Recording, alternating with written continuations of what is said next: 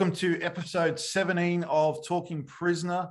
Today we have another special guest with us. This guest played a popular and key role in Prisoner, starting 29 episodes towards the end of 1981 series and into 1982. Her exit from Prisoner is one of the most talked about exits in the show's entire run. But not only did she work on Prisoner, she also worked on Neighbours, both on screen as Barbara Hill and behind the scenes serving as a storyliner and later script editor and also a script writer. She also starred in Kingswood Country, Lay Me Down in Lilac Fields, Freedom, a country practice in which she got to act alongside her daughter, Emoh Ruo, Jenny Kiss Me, The More Things Change, Celia and the Liftoff. She was also a script editor on MDA and a writer on the Sleepover Club and Headland.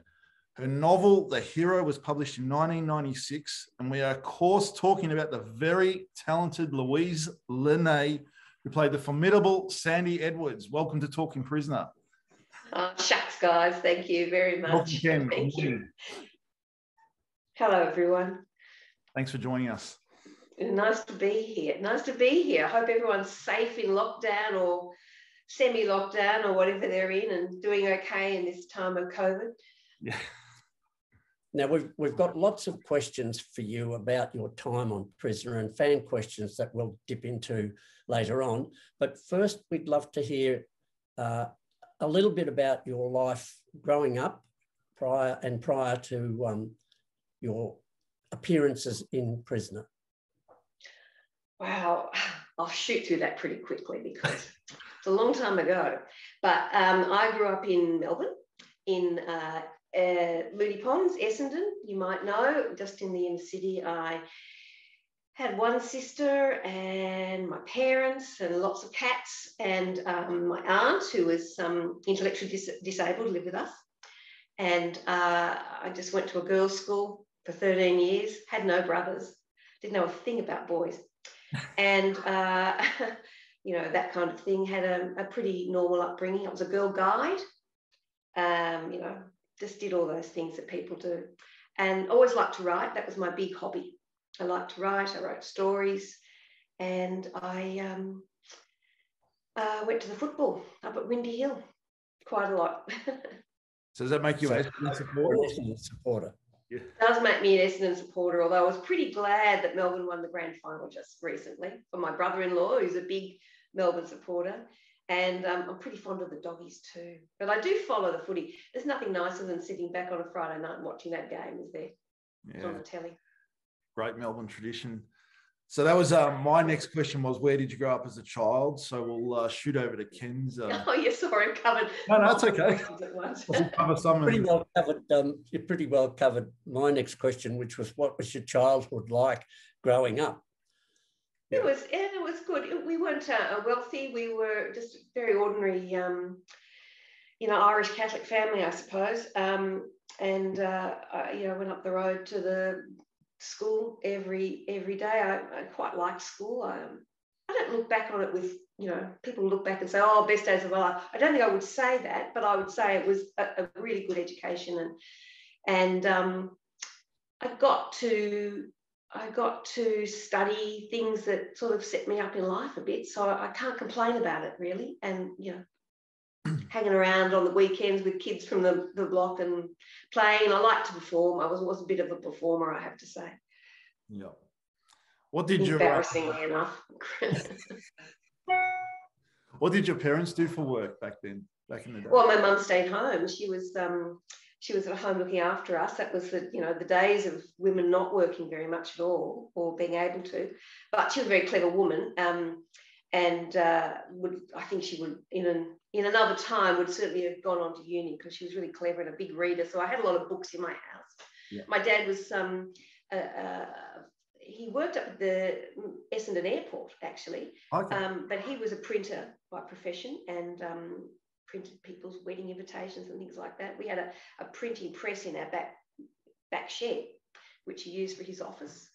And I remember those, you know, those sounds from childhood. Uh, his printer was one of those um, manual ones back in the day where you set the type. And I can remember that that ka-tink, ka-tink sound being part of my childhood in the background all the time.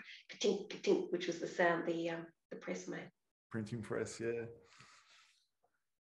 What, um, what about your favourite subjects at school? Uh, well, I, I, was a humanities girl, I suppose. I, I, um, I liked English a lot. And I was good at it. You know, you sometimes you, you just love certain subjects, and I did. I loved books, loved reading, and um, and was good at humanities. Uh, and I was reasonably good at school, I suppose. Yeah, and um, uh, I did, you know, the usual range. I did biology. I wasn't terribly good at maths. I was pretty young actually. I started school really young, about four, and um, and uh, I don't know that I, I, think that was okay, but I think I was a bit of a social dud around about 14 when all the other girls were a year older than me. but that's, you know, what doesn't kill us makes us stronger, doesn't it? that's true. what sort of um, jobs did you have coming out of school? Did you sort of go um, to the workforce? No, I went to uni, um, but I, you know, I worked at, um, supermarkets. Uh, being a supermarket checkout person for a while, I worked at a um, elderly person's home up the road. Actually, during school, I worked there, just going up and doing the morning teas. I like that. I did that for several years actually, and um, and then when I was at uni, I had a waitressing job for a while. You know, the kind of jobs you do. I actually think everyone should be a waitress. You know, it teaches you to be polite and to let things roll over you and to manage um, complaints and all sorts of things. It's it's uh, it's a, good lesson in life, isn't it? Crash course in life. Yeah. yeah. when did you um, think about becoming an actress? I think I always did want to be. I always wrote, and I used to go in for short story competitions, things like that. And I won a few too when I was a kid. Um, uh, but uh, I, I, liked performing. I liked, um, oh, you know, showing off, I suppose, is what you have to call it, really. Um, and when I went to Melbourne Uni, I was doing uh, English, and I I heard about NIDA. I heard about NIDA at school, and I thought I'd like to try. I wasn't sure if I'd get in, and I uh, did some classes and I auditioned and I was accepted. So I, I, actually did one year at Melbourne Uni and then went to NIDA. So it was a really quick transition. I was very young going to NIDA, I have to say. And just just for the NIDA is a very hard school to get into as well. yes, it? it is. That's why I didn't expect to get in. I was really, really uh, over the moon that they took me in. Uh, it is a hard school to get into, and sometimes you have to audition several times, and um, and it's a hard uh, uh place to learn. Uh, but I did learn a lot of stuff there. So I went to NIDA in um, 76 76 and graduated in 76, 77, 78, 78, end of 78. Yeah, that's right. It was um, a, a, a, it was an interesting time at NIDA too. Uh, the year ahead of me uh, was all those really big stars. You know, had Mel Gibson and um, Judy Davis were ahead of me, and my year, um, I'm very unspectacular compared with the people in my year. I was I went through with Penny Cook and Katrina Foster, Di Smith, Glenda Lynn Linscott, who's also in Prisoner. Fantastic, these fantastic actors. Linda Cropper, me, uh, all of whom have really done amazing things with their careers. Um, Penny sadly died yeah. two years ago. Yeah. It's a great loss to all of us because um, the people you go through NIDA with are, um, uh, there's only a very small group, you know, and you become very close. And even though I don't see a lot of them, I see a few of them. Every time I see them on TV, it's like seeing a brother or a sister. It's really a very close link. And the men were Lewis Fitzgerald, Andrew James, I'm reading all this, Robert Giltinan, Robert Grubb, Peter oh. Cousins, Stephen Dorick, John Howard, and Bill McCluskey, all of whom are, you know, they've got, if you look them up, they've got great careers. Big name. And were very talented. So it was a it was a it was a really good mix of people. And uh, I think we all got on pretty well and we learned, and it was hard work, not as hard work. And it was, um, I came away with a lot of lessons that have stayed with me. Wow. You've um, um so just feedback is yeah, you're getting you're it's you, Matt. Is it me? Well, no, when you were is it me? Can you hear feedback? I, was, I was echoing in. Seems to correct itself now. Sorry. oh, okay. Sorry, I'll sit still. Sometimes I No, no, no. I think it was on my end. It was, yeah. We're all good. Still good. So, Um, just on NIDA, was it Yeah. quite like um, because we have spoken to a few cast members that have gone through NIDA on Talking Prisoner. Was it quite strict in the in the way that you know you're having to be there on time and Oh yeah, yeah, absolutely. And I mean, it's a really good lesson, and I've tried to carry it on to my students when I've taught. That you know, they used to say, if you if you're five minutes late, don't come to class. Let's say, but if you miss class, you risk being put out. So, if it taught me nothing, it taught me punctuality. But it taught me a mm. great many other things as well. But punctuality is one of the first ones. And really, I say that to my students. You know, just who come strolling in 20 minutes late sometimes you know it, it's not a way to conduct yourself for a work you know for a work life is it so you know it was strict and you rehearsed and you did classes you rehearsed all afternoon you did classes in the morning and at night you're often performing so we didn't have much of a social life beyond NIDA um, like you do at uni you know you we kind of lived in, we often shared houses together, we rehearsed, we did classes, and we performed together. And on the weekend, sometimes we'd hang out together. Three years of pretty intensive living, I think. Mm. But a good, you know, an amazing kind of place to have been. I feel really honoured to have been there. definitely now you've worked both both in front of the camera as well as behind. Do you have a preference? Uh, if I say behind, I, I, it's not because I didn't like being in front of the camera. When I was young, I think it was the best thing in the world and really exciting. And, you know, I had some great opportunities. Uh, but uh, working as a writer is probably the thing I came to love more. I liked that that ability to create narratives and to create stories and to create links and and to build characters. I really like that too. So both of them have been fantastic. But I've probably written longer than I was professional acting when I think about it now. Yeah. Speaking of writing, you released a book in 1996 called The Hero, a story of family and belonging. Can you um, tell us what that book's about and what motivated you? Oh, I think it's a long time ago. I have just yeah. happened to have a copy right here. Wow. It's um out of print now, so you find it in a secondhand shop.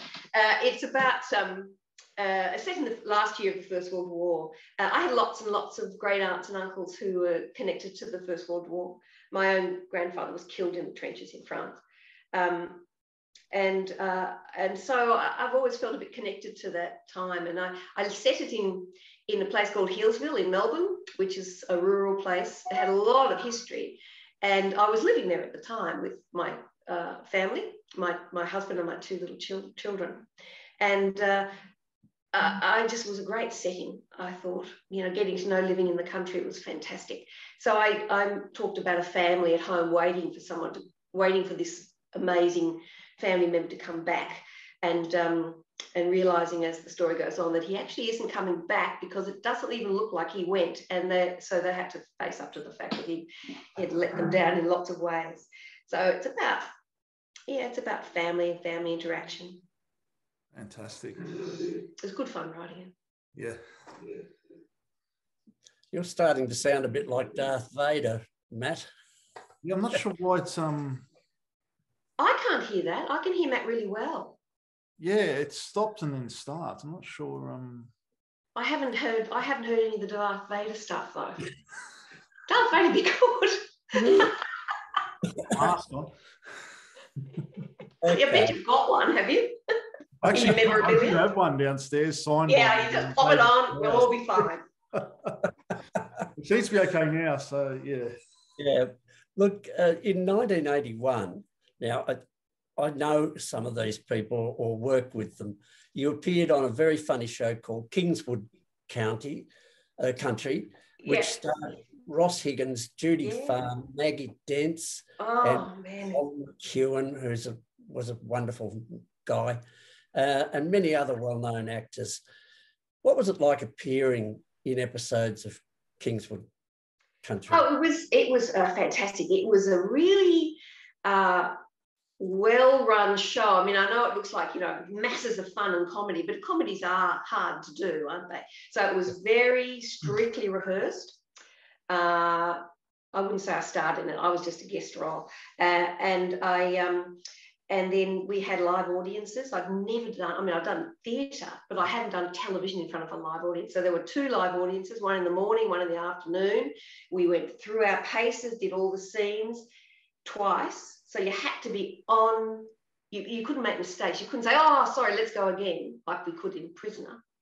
Um, we just had to get it right, get it right, get it right. And there was a sense that, you know, a real professional sense. It was a really good learning thing for me because there was a sense that this is what you did and you did it right and you didn't make excuses. And if you made it, got it wrong, you had to make it right. And that was a really, um, that was a great experience actually.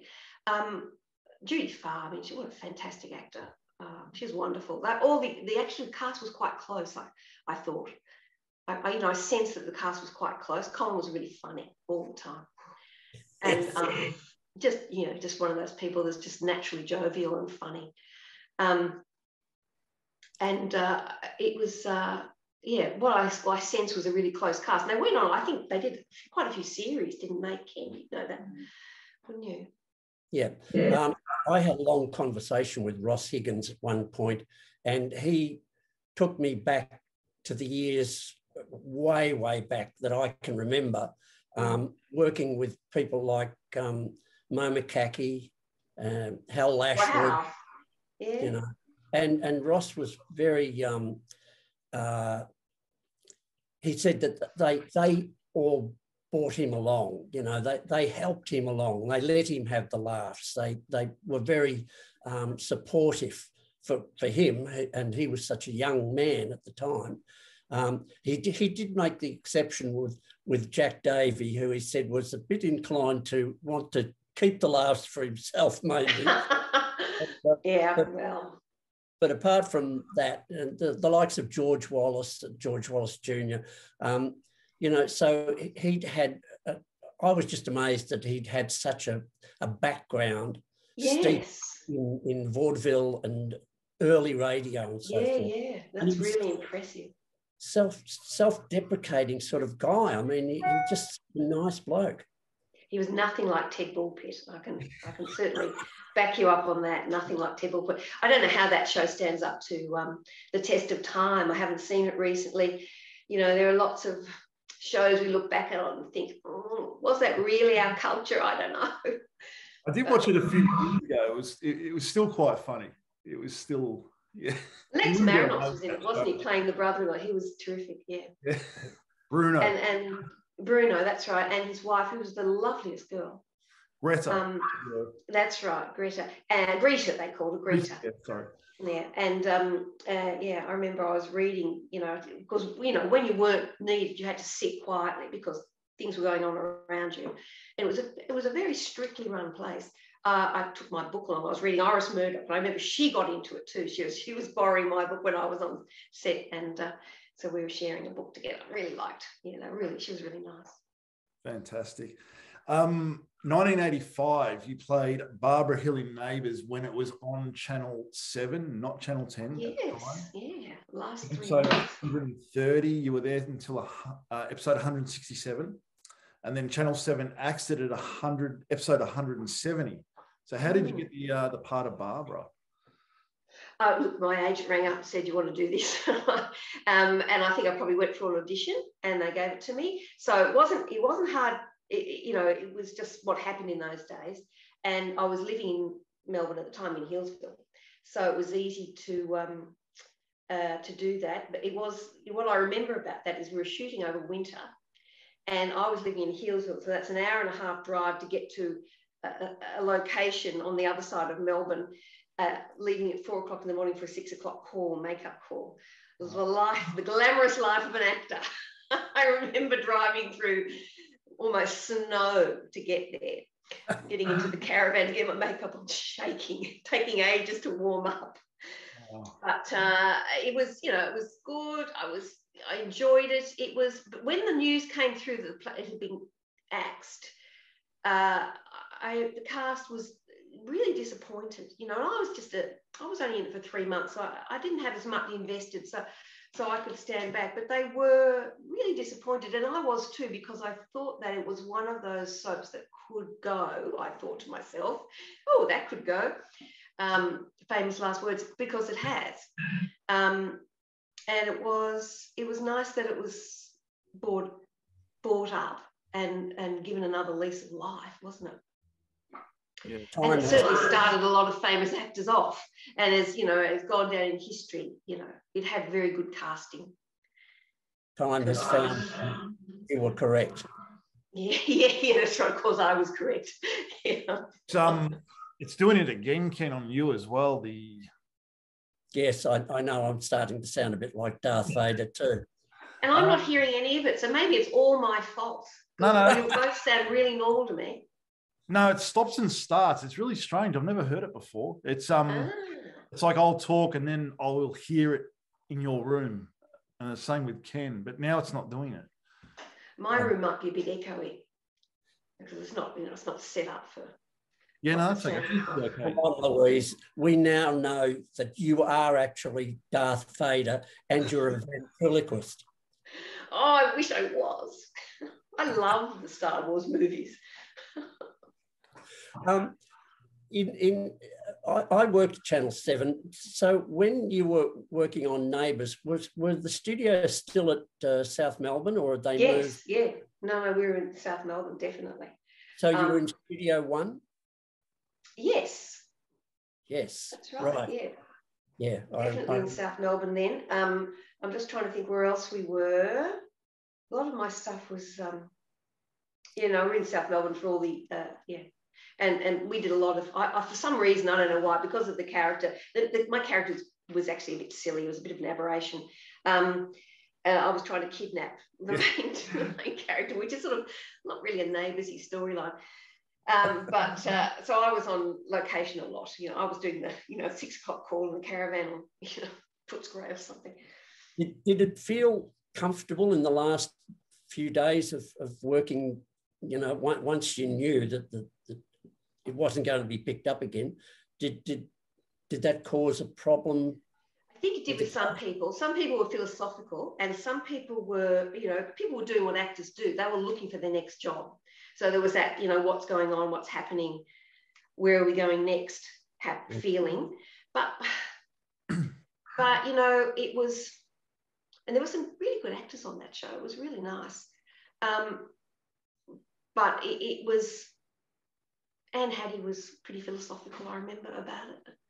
Um, because she's a seasoned professional professional and uh, you know, it was uh, okay this has happened let's move on uh, that feeling but there was a disappointment because a lot of time and effort had been put into it and it felt like it could go and it had a really great opening song i remember thinking it's a pity we're losing that that's a really good song yeah it was, um, it was. And it you know it's certainly stood the test of time it's been reinvented a few times by other groups but really the original is terrific i'm sure the person that made the decision to exit uh, probably no longer got their job at They have regretted it, yeah. But maybe it wouldn't have uh, gone on as well. Uh, I don't know. Mm, there was a change. There was a few people who didn't come back into the cast. And there were sort of the new people coming coming in. And then, of course, there was Kylie Minogue. There was all that amazing. And Jason, they all came in at a time and created a star effect. It was yeah. just amazing, wasn't it? And it was loved by England because it was Britain because it was um, I think sunshiny. There was that. Um, well, I didn't know all this at the time. I knew it when we became when I became a writer and an editor there. That you know, it was we were setting out to send them that sunny Australian feel, which in Melbourne is not always true because you know, we um, in prisoner. Oh gosh, it was cold out there.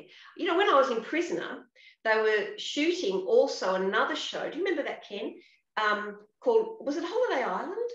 Horrible, horrible Iceland. Oh, horrible. And we called it horrible Iceland because it was it was icy outside. It was so cold. It was the middle of winter. And these poor, a lot of them were girls. Um, had bit parts, and they were in bikinis all day long. and they were, and they'd come into the prisoner green room, which we had heaters on, and we had jumpers on quite sensibly, and we had our prison uniforms on. It was all very, and I had tights, I woolen tights. And these little girls would come in shaking like leaves. And when they had to speak, they had to give the actors ice to suck mm. in order to, um, so they wouldn't be, you know, breathing out yes. vapor, active visible vapor. So they had to not only insult to injury, not only were they freezing, they had to suck ice to, um, to so they, that was terrible. So that is the reality of um, shooting in Melbourne in winter. Trying to make it. We weren't really quite the sunny place we were promoting, but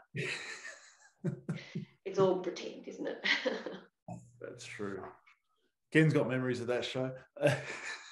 um, yes, the, the um, why why would you choose Melbourne to make a program set in a tropical paradise? I don't know. I don't know.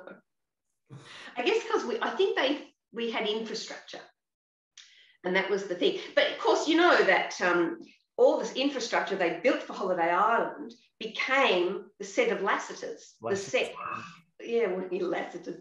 Uh, you know, we used to set a lot of neighbours in Lassiter's, and that was because it was the old Holiday Island set and was there. And if it's there, why not use it? And it was very sensible. Um, 1996, he became a writer for Neighbours and also had an episode shortlisted for a AFI award, which was the episode about Dr. Carl's horrible affair. um, that was big scandal back then. How did uh, how did you get the job as a writer on Neighbours? Oh, I wrote to them. I said, I actually just finished writing. I had the novel published and I wrote and said, look, you know, I, am in the industry, but I really want to have a go. And they, at the time, they had a lot of very young writers and storyliners. And they looked at my CV, which said I was a mum and I had young teenagers at the time. And they said, get her in. We need her. We need that kind of. And I think that was why. So I, I came in, I wrote for them, and I uh, edited a storyline for a long time, which taught me a great deal about um, creating story. And uh, I wrote, uh, and then I became an editor. But the um, uh, episodes you're talking about, Carl's affair, first of all, I would say writing for Carl and Susan on Neighbours is one of the great pleasures of my life. They got, they were terrific together. They were actually magical together as a married couple, I thought, really did such a good job. And um, it, no matter what I wrote, sometimes if we ran short, they ring up and say, just put in a filler scene about nothing. And I'd write a filler scene just to pop in for two minutes or one minute. And I'd try, if they were available, I would make it for them because they could take a scene and it would be delightful, just domestic life with Carl and Susan was what it was. They were great. So the affair was really good too. Sorry, I just banged my desk. Um, the affair thing was really good. We worked on that story for a long time, and I got to write well, quite a few of those episodes. But the one just after it became, um, you just put your hand up, fire. Um, no, it's, it's, just me stretching oh, the fingers. Oh, that's okay. And, and it was um, a real pleasure to write because I knew they'd do it really well. Yeah. Uh, it was exciting to write it because, and I tried to make it real um, about the way everyone wants to know what's going on, but you really want to be private at terrible times like that in your life. You want to be private. You just want to keep it to yourself. So I spent a lot of the time in that episode saying, I don't, I don't want to talk about it, which I thought was truthful. Yeah. And um, seeing their personal suffering. I mean, TV is not all not truthful about people's real emotions, but it can be it can be close sometimes. And I really tried, and and it was really flattering that the AFI, which I don't think took Neighbours terribly seriously um, uh, as a you know a real purveyor of good quality uh, TV, did in fact yeah nominate it for an award. So I was really pleased. Wow. it was really nice. And there was a couple of other writers too, can I just add, that, that also were nominated in that whole sequence because it was a really well thought out sequence, I think. Our producer was Judith Cahoon, and uh, she was, you know, she has a lot of cred as a TV writer going right back to Bellbird. And um, and she knew how to put that story together. And I thought she did a great job. It was a big story back then. It was. Not the Carl affair. Just going back just a second, but um, with as a storyliner, what where do you draw on? Because that, that's obviously just coming up with the idea for a story. Where do you draw on ideas for stories? As? Well, we talk a lot, and we, and everyone talked about their childhood. That's why they say they quite wanted me in because I was a mum, and everyone else there wasn't a parent. They were young things out and about, so they were great for all the young thing stuff. And I'd come in and say, "Well, what about you know, what would their mother think if they were doing that? So uh, yeah, I was able to bring a bit of um, mum mum uh, logic. I don't know I was that good a mother, but I but I was able to bring the theory of good mothering. Um, and my kids helped. You know, I'd say, oh, what, would happen? What would happen if we did this? And they'd give me some ideas, and um, and, and that that helped a lot really. Uh, but what we do, it isn't just coming up with stories. You have to write them up. You have to put them in sequence. You have to. Um, uh, I used to teach this at uni afterwards. I used to teach writing, TV writing, oh, okay. and you have to uh, uh, get three different storylines and then push them in together, wind them in together for each ep, and then you'd write that up, and that would go out to the writers. So you'd write it up, and the writers would then take it and put the words to it. So it was actually quite a complex um, job storylining and uh, really good good teaching job for you know to learn the ropes i think just fantastic had a lot of fun storylining storylining still a job now I don't, I don't see it a lot on the end of credits of shows storyliner is it still uh it's always done in some form or other yeah writers aren't uh if, if a writer's writing for a show they'll often come in and um, they'll have a, a round table meeting. So you won't call that storylines, but you'll have two or three or four people with them, and they sit there and they map out what the what yep. the episode's got to contain. So writer, writer never writes blind. They have to write to continuity. They have to write to all sorts of things. So you've got to have people around you. So those people are really performing the role of storyliner, even if they're not given the title of it. Oh, okay. But Neighbours always had storyliners it, it just made it a smoother transition and it kept the continuity really much better. Yep. Did you ever have storylines that, that didn't make it? Yeah, yeah, yeah, we did. Sometimes they just, uh, uh, the, if they didn't work, we'd put an end to them pretty quickly, you know, at an early stage. But we had a couple of real crises on um, Neighbours. We had one young uh, actor who got glandular fever and had to be whooped out really quickly. Uh, and then uh, we had to just simply insert another storyline that didn't involve that actor. You know, that, that, that meant staying there for days and days on end and weekends trying, and then you had to fit it in to where the actors' scenes had been. And um, then Anne Haddy got sick. Um, uh, I think I, I was on that. I just wrote to try and get her out of the show because she wasn't well and she couldn't keep couldn't keep doing. And that was a kind of a sudden thing. So, um, but that was all right, that, that, kind of thing. So there is a lot of storylines do a lot of work in the background. Um, speaking of Anne Haddy, who was just an amazing actress, she played Helen Daniels for 1,162 episodes.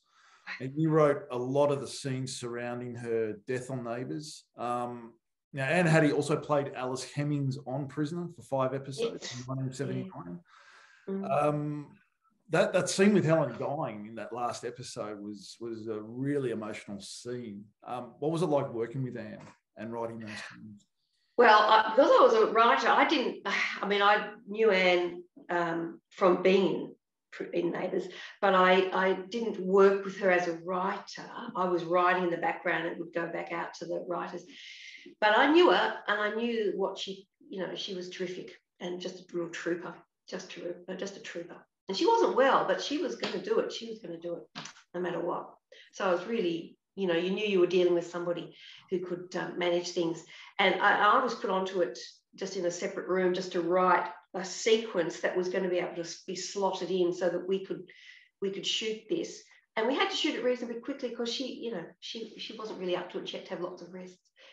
Um, uh, but she was terrific. Um, and I just wrote and wrote and wrote, and people read it and said yes or no or change that, and I I did that, and um, yeah, I did write that last scene too with um, sitting around with the family.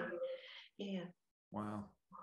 Mm, it was, it was it was it was but I knew she'd do it well. That was the thing. I mean, you know, you write something, but an actor brings it to life, and that's the thing that's um, you know, you can really rely on it. People like that. Yeah. She um she and I used to swap books from time to time. Um, we're both very big readers, and um, she'd come into the, the studio and, and say, "Oh, here's a book that you might like. And, you know, I did the same thing. So um, we had a good rapport. Yeah, she was a good person. Nice a big funeral out at Lassiter's. That you know, it was a memorial service after she died, which is some time. And they, and they had it out there at um, the neighbours set. Well, that's amazing. She was also yeah, married to nice. um, James Condon, who played yeah. Mr. Dwyer on Neighbours, head of, um, not Neighbours, prisoner, the head of the department. James James Not Dwyer, I think his name was on Prisoner. Um, oh, right. Yeah. yeah, terrific. Yeah, lovely actor. Really lovely actor. Both of them. You want you worked with Reg Watson, who created Prisoner on Neighbours. What was it like working with Reg? Now, a lot to do with Reg. I'd like to say I did, but I d- I don't think I did. Um, he came in occasionally, and uh, you know what a really good guy, and he uh, yeah, he'd worked really hard at creating that um, uh, the whole neighbours thing. Um, and I saw him only uh, I only saw a little bit of him on Prisoner, I have to say. So I I can't. He's just one of one of those one of the people you you mix with. But I didn't have a great deal to do with him, so there's not much I can say about about that. Elaborate much. That's okay.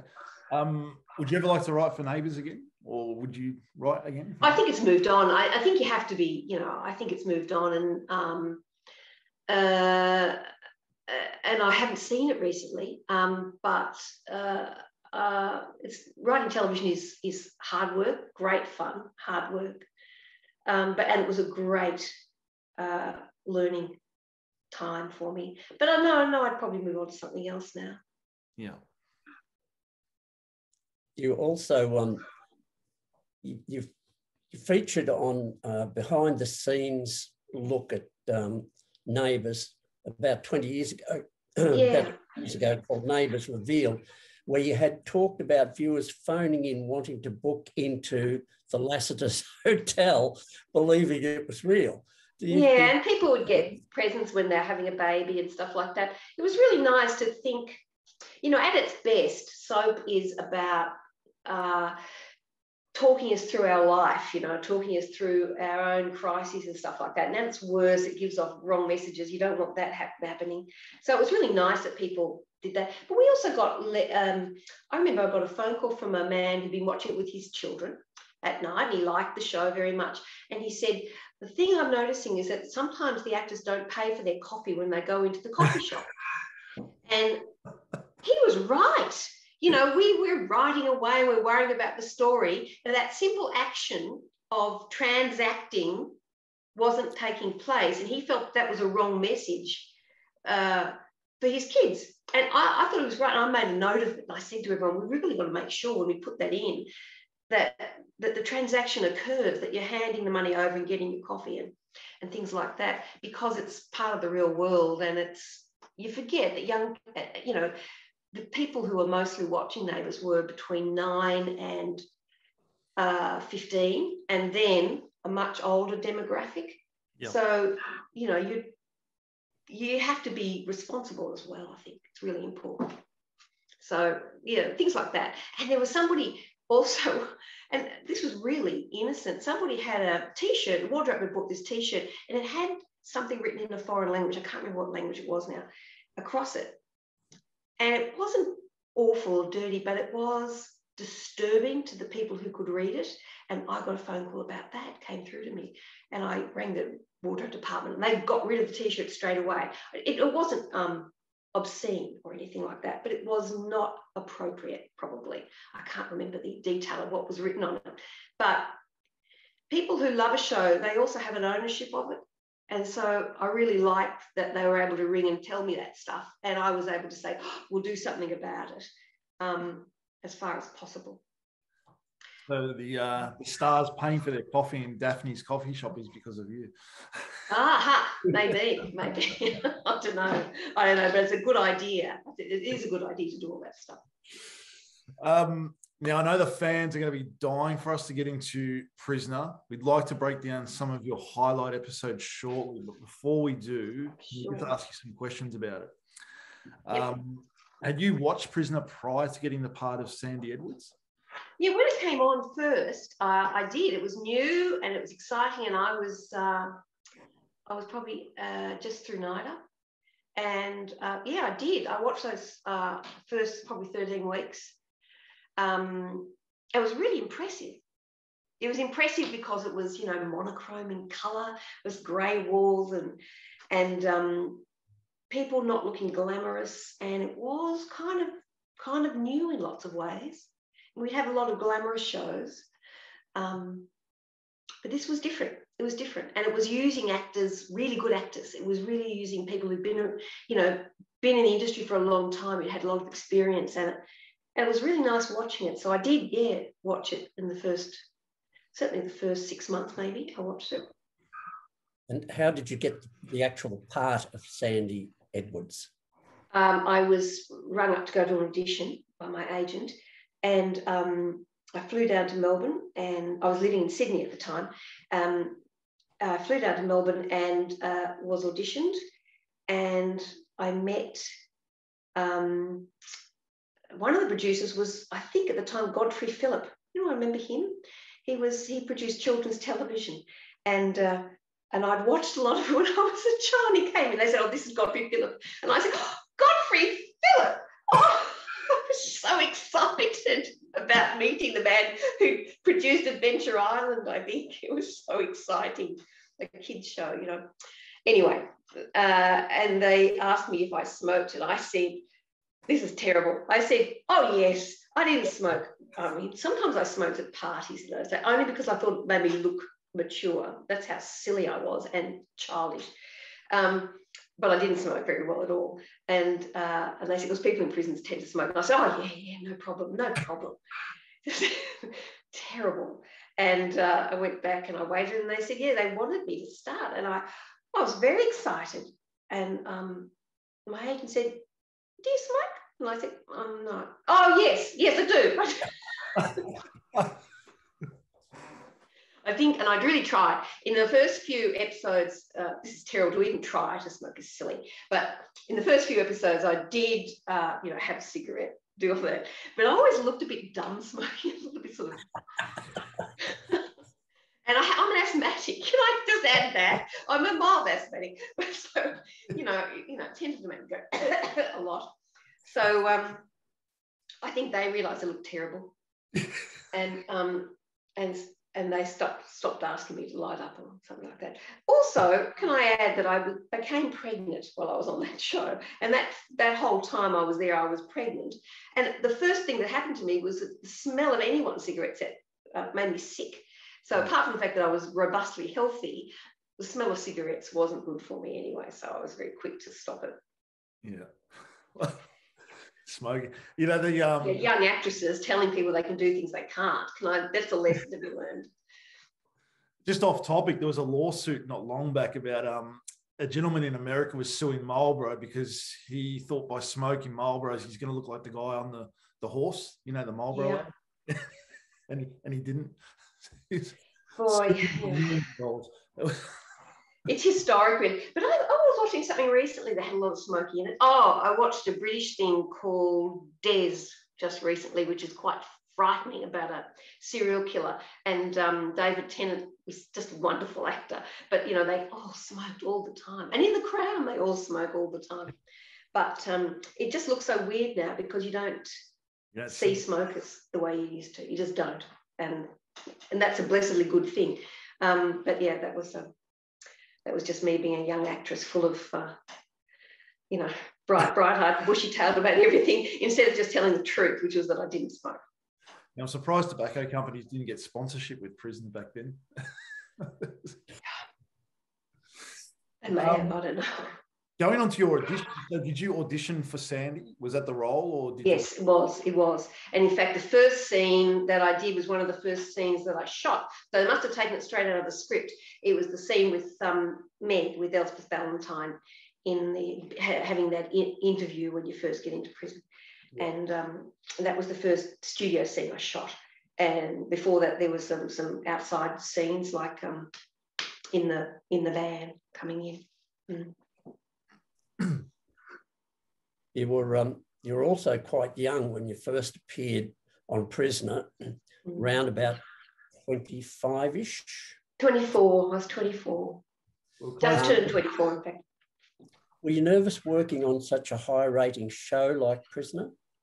I was really excited about it. Um, uh, I think, I, you know, I think I was I was in awe of some of the actors who I had admired myself when I was uh, growing up, when I'd seen them on TV. People like Elspeth, Gerda Nicholson, I'd watched on TV um, in other things, and it was really, you know, really in awe of them.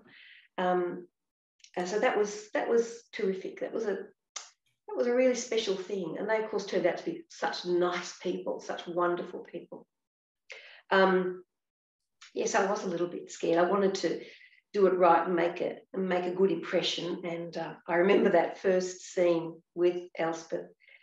I because I rehearsed it a lot, had done it for the audition. I knew it really well. And when we filmed it, we did it in one take, just shot it through. And she applauded me at the end. She said, "Well done," and she gave me a clap. And that was um, well, says a lot about her, doesn't it? About kindness and support and the kind of things. And I, I probably didn't even think at the time to thank her for it, but it was a very kind act of welcoming me into a cast, which I'm very grateful for. Yeah. Did you um when you got the part of Sandy, was it did you know it was just going to be the 29 episodes at the time? No, no, I didn't know. Really, if I think it was just an open um contract. Uh and you know, it had the option of going on, I suppose yeah, so so um, I, I, was just there, but I was living, as I say, I was living in Sydney, so I had to fly down and live in Melbourne to do this, um, which created a few problems uh, for me. Uh, but that was all right. I came from Melbourne. I was staying with my mum, staying with my sister. It was nice to to be around the family again. Yeah. You're at the centre of uh, a lot of big episodes. Did you ever feel any pressure with the role? Oh sure. You know yeah you know learning lines the night before and going in and rehearsing them and then shooting them there's um there's always a pressure on. You didn't sort of sit back laughing and well we did laugh a little bit in the green room but you know you know you were expected to turn up and do the job. And those early starts you know were really tough. I mean i'd get there and get my makeup on and curl up on a couch for a while until they called me. Um, you had to be there. You had to be on on message the whole time and, and, and thinking about your character. And also the other thing you have to think about is continuity because you shoot things out of sequence. So that if it was a big ticket scene, I had to know that when I shot the scene the week before, I had to hit the right point that I could then carry it through to the scene I was shooting this week. Uh, and that happened a few times. That was a it was a good learning thing for me. I Remember, I was a really young actor. At NIDA, we did a lot of theatre we didn't do a lot of television at all in those days. I think they do a lot more of it now. Um, so I, yeah, it was all part of a learning curve for me. It was uh, it was pretty exciting. Yeah. And lots of support. People were really nice to you. There was a, uh, you know, the green room was a nice place. It was a nice place where we sat and felt relaxed, and people, there were people there who were funny, and people there who were, who were um, serious, and and you know, a real cross section of people, but they were all professionals. They were terrific. People like Maggie Millar, you know, who's a RADA graduate, um, you know, absolute professional. Um, Judith McGrath, who always made you smile. She was very funny. Um, Elspeth, who was always supportive. People like that were wonderful. Olivia, um, Kate Shield, and Wayne, they were, they were wonderful people. And plus all the other people around who were in and out of the prison scene. So it was a nice family just when you were talking about the cast that you're working with, um, do you have any memories about Judith McGrath, who played Officer Powell, that you could share with us? Oh, yeah. And Judith went on to lots of other shows too. Yeah. Uh, she's just, she was just great value. She was a, a very funny person. You know, Officer Powell was so severe, but Judith was very, very funny, warm, dry, witty yeah. person. Really nice spending time with her. You remember her, Ken? Um, she was just nice to sit quietly within the green room and she'd be reading and I'd be reading and she always had something funny to say though. She was really funny. There was lots of antics in the green room that would take people by surprise. I suppose people knew that Betty, Betty and Colette sang so beautifully in the green room. Suddenly they'd just break into song and they'd have harmonies and they were, oh, beautiful voices, so talented. And they'd sing, and they sang a whole range of songs. One of them was they used to sing songs from Sesame Street, which were just so funny and so cute and so, well, just wonderful, really. It was, I, I remember that really well. They were terrific. Oh, fantastic. Um, did you ever make any storyline suggestions for Sandy? No, I didn't know you could. I was, you guys have to remember, I'm 64 now. I know about this stuff now. When I was 24, I didn't, and I didn't know I could. So I just said, thank you very much for my script, and I'd sit and I'd learn it and I'd do it. But you know, if I if I had the understanding or the experience about me, yeah, you can do it. And I noticed, you know, when I worked later as a writer, that sometimes actors did come in, and sometimes the stories they suggested were not going to work for us. But so, a couple of times they were, they did work. On Neighbours, I remember um, the fellow who played Lance, terrific actor, uh, Andrew Bibby, he yep. suggested that uh, that uh, Lance could develop a uh, gambling habit, and that was his idea and he brought it to us and we said yeah we can do this and um, and it gave us well quite a few weeks of um, story ideas so it certainly can be done yeah what the writers members coming up with ideas uh, mostly they, uh, that you have to get past a kind of a prejudice, kind of a scathing prejudice. They think, oh, I'm sure they don't know what they're talking about, but often they do and that's good. Uh, it, it just that often actors think about their own character, but when you're thinking about a story, you have to think about how that impacts other characters and whether it's going to uh, allow other characters to have stories uh, coming off the one you've suggested. So if it's a story that only concerns one character, it's not going to go anywhere. But if it's a story that can draw in effects uh, and or extrapolate other characters, then it's really useful to us. And we spend a lot of time thinking about that ourselves, I think. Do you know um, who, who actually created the character of Sandy Edwards? I don't. Uh, do you know, Ken? No. I, I, thought perhaps Ray Colley might have had something to do with it, uh, but I'm not sure. I'm not sure. I know that uh, writers, some writers tended to um, utilise, uh, for instance, with um, uh, Officer Officer Powell, her dry sense of humour. I think Coral Drouin tended to utilise that dry sense of humour and write, write lines that would suit her, her personality. Yeah. yeah. and she did have a really dry delivery. It was more in evidence in subsequent shows she did. You know, um, the, the, hospital show she did.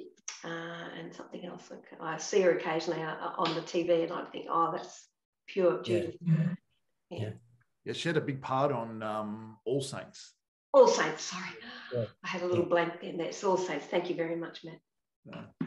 Um, for a period, you be, Sandy Edwards became top dog, which was a pretty big thing in Prisoner. Yeah. Uh, while Bea was.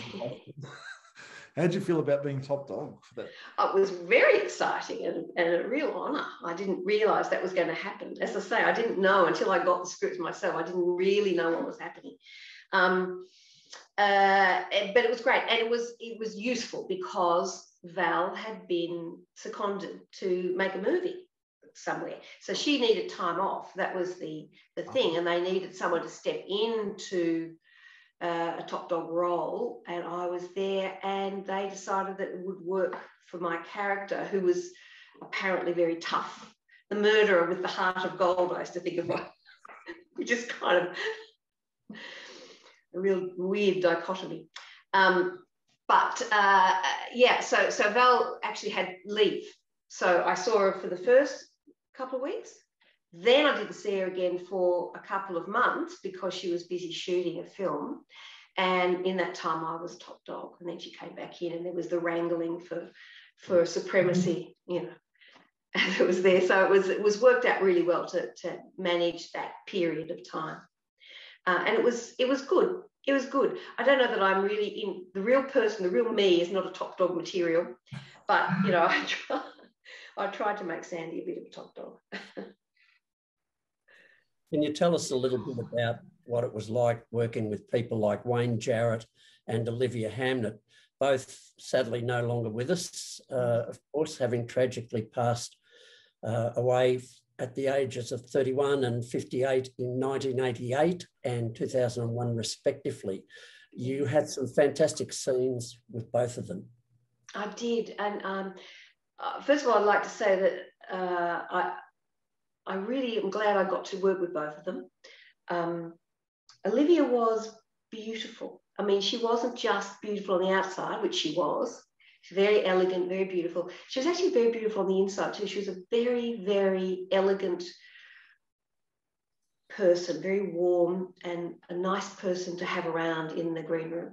And nothing like her character, of course. She's just a warm person. She knew a lot about a lot about antiques, I remember, and um, she had uh, dogs, and she'd done a lot of work. And I remember her uh, as a child watching her in Rush as the um, as the uh, female lead in Rush uh, with John Waters, and she was very beautiful. So working with Olivia was great. She was, you know, quintessential professional. It was, you did the job, you turned up, you did good work, and you didn't make a fuss. And it was, for a young actor, they're the lessons you need to learn, you know. And and it was great. She was just a great person. Wayne, I actually knew from NIDA because he was a year ahead of me. So while you don't always know, lots of people who've gone to NIDA, you always know the year ahead of you. And so I, and he was in that year. So I'd, I'd, known him and I'd seen him on stage before. Um, and so that was nice that I knew him. Wayne was the most unaffected person I've ever met. He didn't, he wasn't actorish, he wasn't mannered, he wasn't, um, he did his job. He was just he was like a brother. He was a good natured. He loved sport. On the weekends, he'd go out on the um, uh, he'd go out windsurfing. He had a windsurf. He was very healthy, very uh, fit and healthy. Terrific, just a terrific person. Really good. Died absurdly young. Just so sad, so sudden. And I think um, I do know that his year, the year ahead of me, they had a they had a reunion um, before he died. So they all got to see him, which is really nice to think. I didn't know that he died until after it had happened. Wow, very sad. Yeah, really sad. And Olivia, I went to Olivia's memorial um, service when she died. I was run up and I went to that, and that was that was really nice to be there to be part of that because she died too young too. She did. Getting on to the what are the differences between Prisoner and some of the other shows that you've worked on? uh, prisoners prisoners are on its own really when you even think about australian television prisoners on its own and it's on its own because it's women it was women at a time when really women were often supports or they were the mums or they were the you know sometimes they were cheeky and things like that but they weren't really the spearhead of a show and in, when prisoner they were the spearhead and it was uh, a remarkable show for that, for the time that it was shot in. And, you know, it will always be out on a, a, a rung of its own, I think. Um, as I think I said before, it was just amazing to work with those really professional women who just done their time in the industry, you know, and they they knew the stuff and they knew so much more than I did. Um, but they were generous and kind and a good good group to be with, really. Really, generally, a, a very good group to be with. Uh, and the stories are about women, and the stories are about women's problems. And you know, I don't know that they were that truthful about a jail. Um, I used to think sometimes we were in St Trinian's rather than a jail. but you know, you couldn't really put the truth. Uh, prisons are, are, terribly tough places and terribly hard, and I, I don't know that they were as truthful as you know reality. But then television isn't reality, so yeah. it was it was just great. And, and they used just used people who were good, not just people who looked fabulous. Um, and they, you know, they didn't cover over your pimples if you had them. They just said, no, no, you're right. Just a little bit of color, just a bit of covering would be good, I think. But no, uh, they were, you know, it was it was warts and all people, just being people. And I think it's historically a, really one out of the bag for that reason. And I applaud them. I applaud them and I applaud it for that reason. Did you get a lot of fan mail when you were in prisoner? Uh, yeah, uh, um, probably not as much as Val or you know people like that, and Betty and, and Colette and Lizzie, who you know Sheila. Um, but yeah, I did at the time. It was it was surprising and it was uh, a little overwhelming. I, I, didn't, I wasn't ready for that. I think I didn't really know. As I say, I have to think back. I was pretty young, and um, I didn't know that that that would happen. And it was very flattering. And um, there are people who wrote to me, and still occasionally write to me, um, especially from Britain. Really terrific people over there who just I mean, they've got a, a real culture of soaps and they're faithful to soaps, aren't they? Over there, they've had Coronation Street for how long and and um, uh, things like that, you know. So they they have a, a real a real love of that ongoing serial kind of show. And I really appreciate that. And the people in Australia still talk about it a lot. But I think Britain's the biggest fan of all. This is really just terrific. And, I, I, and I'd like to say thank you to all those really terrific people who said so many nice things about me, flattered me far more than I deserved. said so many more nice things. I, I wasn't that good. they were, but they were great fans. But I, you know, I really loved June Sandy. She was great. Yeah. She was tougher than me. I, I, I kind of would like to be a little bit more like Sandy than I am. Are you still surprised that in 2021 how popular the show is? And also, this is normally a fan question, and I'm surprised it wasn't with you. Do you do you watch uh, Wentworth, the new prisoner show? Um, I've only dipped into it a couple of times because I. I'm not the biggest serial watcher. I, I, watch series and I watch movies. I don't watch serials so much, but uh, and it's wonderful. You know, it's a wonderful show. Really terrific. Um, yeah, yeah, it's it's really good but I haven't I've got addicted to it or anything. I don't feel that. Um, I think probably if I had one of those ongoing characters it's now being represented in in Wentworth, I might be more likely to. But it's a terrific show, really well done. Yeah, and are you surprised at how big Prisoner still is to this day? Yes, yeah. yes. I did a, I did a, oh, I think might have been 10 years ago. I did a publicity thing. I tend not to because I live a long way from the city. Um, I'm a rural person. Uh, but I did one, and I took my daughter along to it, my daughter Victoria, who was the baby I was carrying while I was in prison. Um, and uh, we met, I met, I saw Alice, Elspeth again and a few other people like that. And it was really nice to, to catch up with people. And, and Jentah Sobott, who played Mouse, I saw her. And um, just that was really nice to catch up. And there were lots and lots of people there still yeah. liking it. And, and it's it's humbling. It's it's terrific. It's really uh, really grateful for for people's um, loyalty. It's that's amazing. Many actors have different techniques for learning lines. Um, how about you? Uh, I don't know the various techniques. I think I just say them to my. We, we get the scripts. You know, you have to learn quickly a lot of stuff and we get the scripts one week for the next week. So really, you'd be doing it the night before. You might read them all through on the weekend, and then you'd be learning them the night before, learning your scenes. Um, which is why sometimes we have to do one or two or three takes because you know it'd be easy to forget. but there's something about I don't know. Um, probably someone who knows about psychology would know. There's or biology. There's some part of the brain that you can actually put temporary learning into.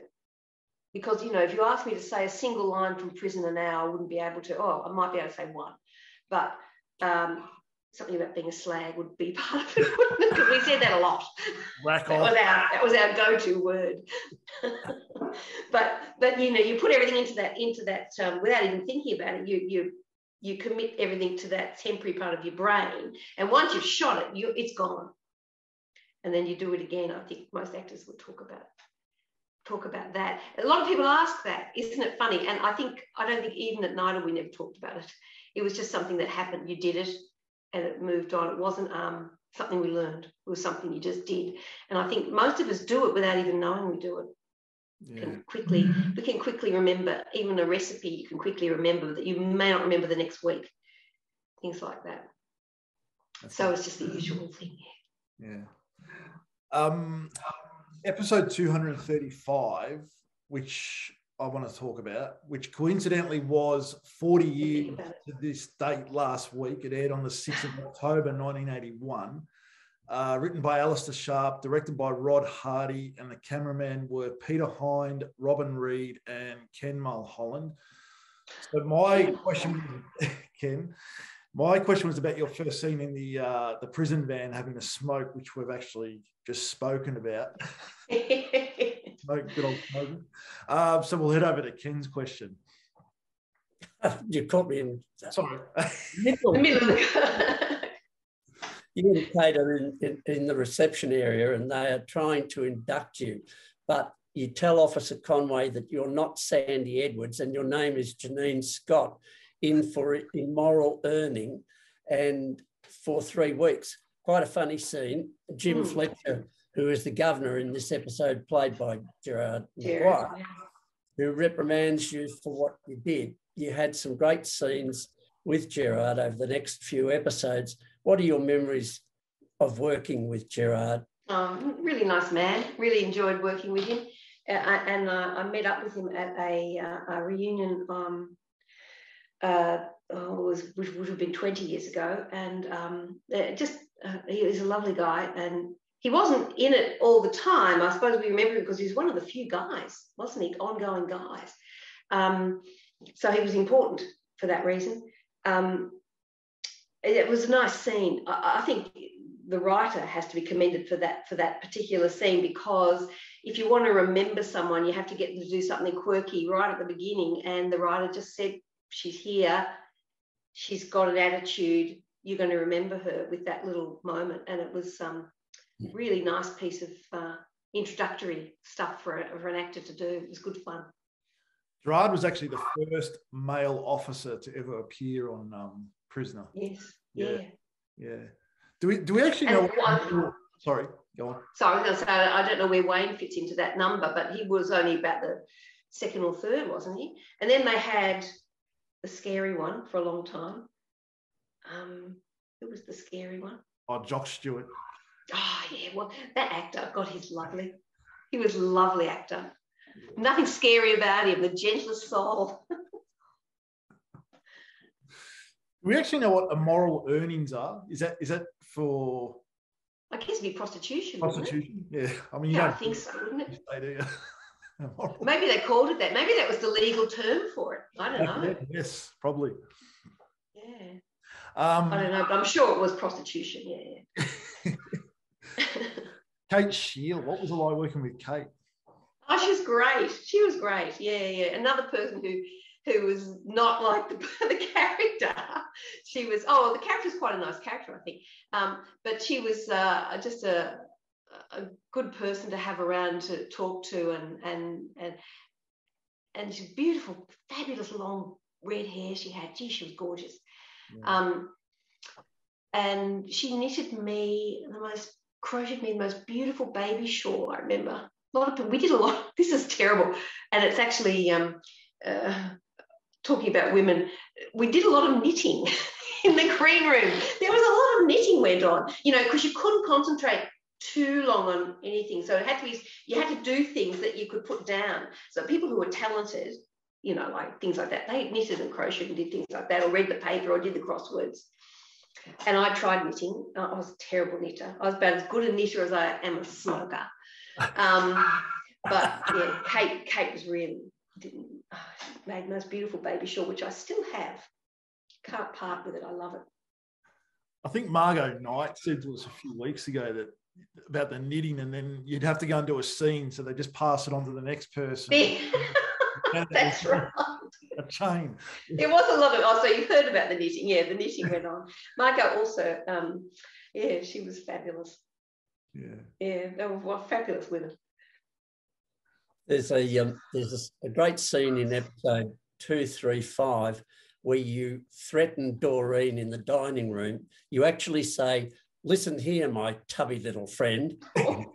Colin put a bridle at that. I'm in here for murder. I could always add one more. Betty Bobbitt was next to Colette Mann, and then you, in the laundry, you threatened Judy for the press. What was it like working with Colette? You also threw Colette up against the wall. I think it was awful. What an awful thing to remember. Uh, Colette was very funny, very, very, very funny. That's that's the first thing I have to say about her. She's a funny person and um, just just a great storyteller and and yeah, so she would have seen the funny side of it. But the, the key was to stay straight faced sometimes, you know, when they'd said something funny and you had to go in there with your fist. Um, it was uh, that was often that was often hard. The funniest part, I thought, you know, in the in the laundry was you know the press. You know, when we all wanted to be boss of the press, it was never on. Right. So there, there, was no there was no electricity. And it was never it was never uh, you know actually a press, and it wasn't hot. So, but there was a man lying underneath it with a, a steam gun, and so when I went he went, and the steam would come up. And sometimes if I thought about that, if I thought, here's I, here am I doing that, and he was, he was he going with the steam gun, I, would get a, bit, a little bit giggly too because it was funny. Yeah. So we had to do a lot of acting of being hot and being, you know, burnt and things like that. And I think I burnt my hand at one point under it. Um, so there's a lot of, that was that was real acting. That was me pretending a lot. with the state You know, Ken. Sorry. do You know who the uh, the guy was that did the steam for the press? Uh, a few of the different props people. Uh, they were mostly, uh, I think, pretty well all the male uh, guys. Paul Barnett may have done it. Uh, he became a cameraman later on. Um, Mark Dorr um, was another one who who um, would have been around, and, and uh, there were there were other guys that yeah, there were lots of guys in there. They were really nice. Mark Collins also, um, who later became a cameraman too. Yeah, they were lovely, lovely people. I think they saw the funny side of it too. But they were very professional. They didn't laugh at the time, but I get giggles thinking about it because it was, you know, just funny. Um, also on episode 235, there's I actually watched this scene uh, a few weeks ago. There's a great scene of you in the laundry, speaking of the press, on the press, and Bea walks in, and everyone's just like, you know, it's a, it's a bit of an intense scene as you're operating it, you know, full of life, and everyone's looking. What was that first scene like with Val to shoot? That's when she comes back. When she comes back in after she's been away, is that right? And um, I think so. And, and I hand the press over to her straight away. Yeah. Is that right? Is that the scene? um, yeah, you know, it was it was great. It was a good scene, and actually, it was um, it was a it was Sandy showing she was a bit of a smart cookie. She wasn't going to go. She wasn't going to go head to head with the with the old guard. She was going to play it careful, and I thought, uh, and that was a good scene for that reason, wasn't it? It was that coming in and, and saying, "Oh no, it's all yours, nothing to do with me." It's uh, probably in her heart of hearts, she was thinking, yeah, I could topple her, but she was just yeah. having a little think and, and playing it cool for the time being. Yeah, there's lots of that, lots of that in the scripts actually, uh, that sort of understanding that people need to negotiate their way, uh, which I think was really clever. Um, episode 236, written by Brian Williams, everybody's favourite Dr. Weissman, uh, was directed by Rod Hardy, who is joining us for episode 20. Yeah, Rod directed a lot of it. He was terrific. He was really nice too. Yes, he will be on uh, uh, episode 20 of Talking Prisoner. The yeah. cameramen were Peter Hind, Robin Reed, and myself. Um, this is the second episode in, and we see Sandy Edwards really rising to the top. Great fight scene in the rec room.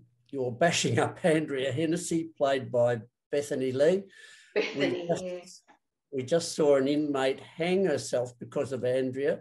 Great fight scene with Queen Bee watching, just watching on. What was it like to shoot that scene? Uh, I think I needed help because I don't think I'd ever, you know, gone in with my fists before. We didn't do that at the girls' school I went to. and I, I remember at the time, again, going back to being how young I was, at the time, I remember thinking, I'll just do it. It's fine. It's, I'll do it. But when I got to do it, I didn't really know. And if you have a look at it, I'm actually slapping rather than punching. I, I didn't really know how to to hit. Uh, and it, it's I can see how I'm a bit out of my depth in that one. I when I when I've seen that, I've thought, hmm, that could have been improved. I could have been a real bashing, and it wasn't. But maybe it didn't show up. I can see it though. I, am I'm, I'm a bit ineffectual, a bit un, uncertain and look how good. to go about it. You think it looked all right, do you? Yeah, well, I watched it as well. Yeah, it looked good. if you have a look, you see, I, I haven't actually got my fists. I don't know how. I don't know. it was all right. okay, so this is a bit of a long one because there's a few actual comments about this um, about this scene. So episode 240, which was written by the amazing Ian Bradley, who was on episode four of Talking Prisoner directed by Leigh Spence. Cameramen were Ken oh. Mulholland, Peter Hind, and Barry Pullen. So there's a scene with you, Bea, and Kate. You tell Bea that you want to be top dog, and Bea agrees. The girls are loving you as top dog. There's a lot of comments from fans on all the YouTube videos about Sandy becoming top dog. So a couple of them are Sandy is a proper top dog. She's got a decent code of honor and sticks to it, even when tested by people she dislikes and for good reason. That's the kind of women to get behind and who inspires respect, unlike the likes of Margo Gaffney. um, the way Sandy dealt with the situation regarding Bea in the dining room and also the one in the corridor involving Doreen's biscuit theft further indicates she has all the makings of a fine top dog. And there's there's a there's hundreds more about you being top dog. So are you aware of how many fans are still talking about how they wanted Sandy to be Oh, that's so nice. No, I wasn't aware of that. Uh, thank you. That's really nice to hear that. So thank you, everyone. Um, I uh, I have to I have to keep going back to the writers. They created that character, and uh, yeah, I, sometimes I it was kind of an ironic thing that I'm supposed to have murdered people, and I and I think I murdered a couple of people while I was in it, wasn't didn't I? Um, and and yet I had a sort of a supposed to have a sense of justice, which is um, strange, I guess. But I'm glad I did. I'm really glad that that um, there was some there was some sort of nuance from, between being all bad and all good. That there was something coming on as conflict, which made her a bit more real, and um, it probably suited my uh, the way I wanted to portray her. I don't know that I could have been dead set bad all the way through. Uh, and I couldn't have been dead set good all the way through either, really. I, I, really liked that that mixing of stuff. Um, and it was it was they were nice scripts. They were really nice scripts. And it was nice to be able to exercise a bit of vulnerability sometimes and um, and that toughness, uh, which yeah, I'm not actually an overly tough person, so I, I, it was it was a good that was a good acting challenge. Um, but um, there was a scene in it uh, towards the end where I, I, heard my husband had been killed. He, he was in another prison apparently. Country, yes. Yeah, that's right. And um, there was a really nice scene. I think Rod might have uh, directed that one too. Uh, I'm not sure, or Lex and um, and I I said there that there was nothing left for me. There was nothing left for me because the only person who had ever loved me was gone. There was nothing left in this miserable world. And I thought that was, I really liked being able to show that vulnerability, that, you know, the fact that I, I was a criminal married to a criminal doesn't make me very vulnerable, but in fact, vulnerability is everywhere, really, isn't it? And it was nice to be able to to exhibit that. And I really liked that. Amazing. And I can't remember who the director was, but I think it was Lex Alrod in that.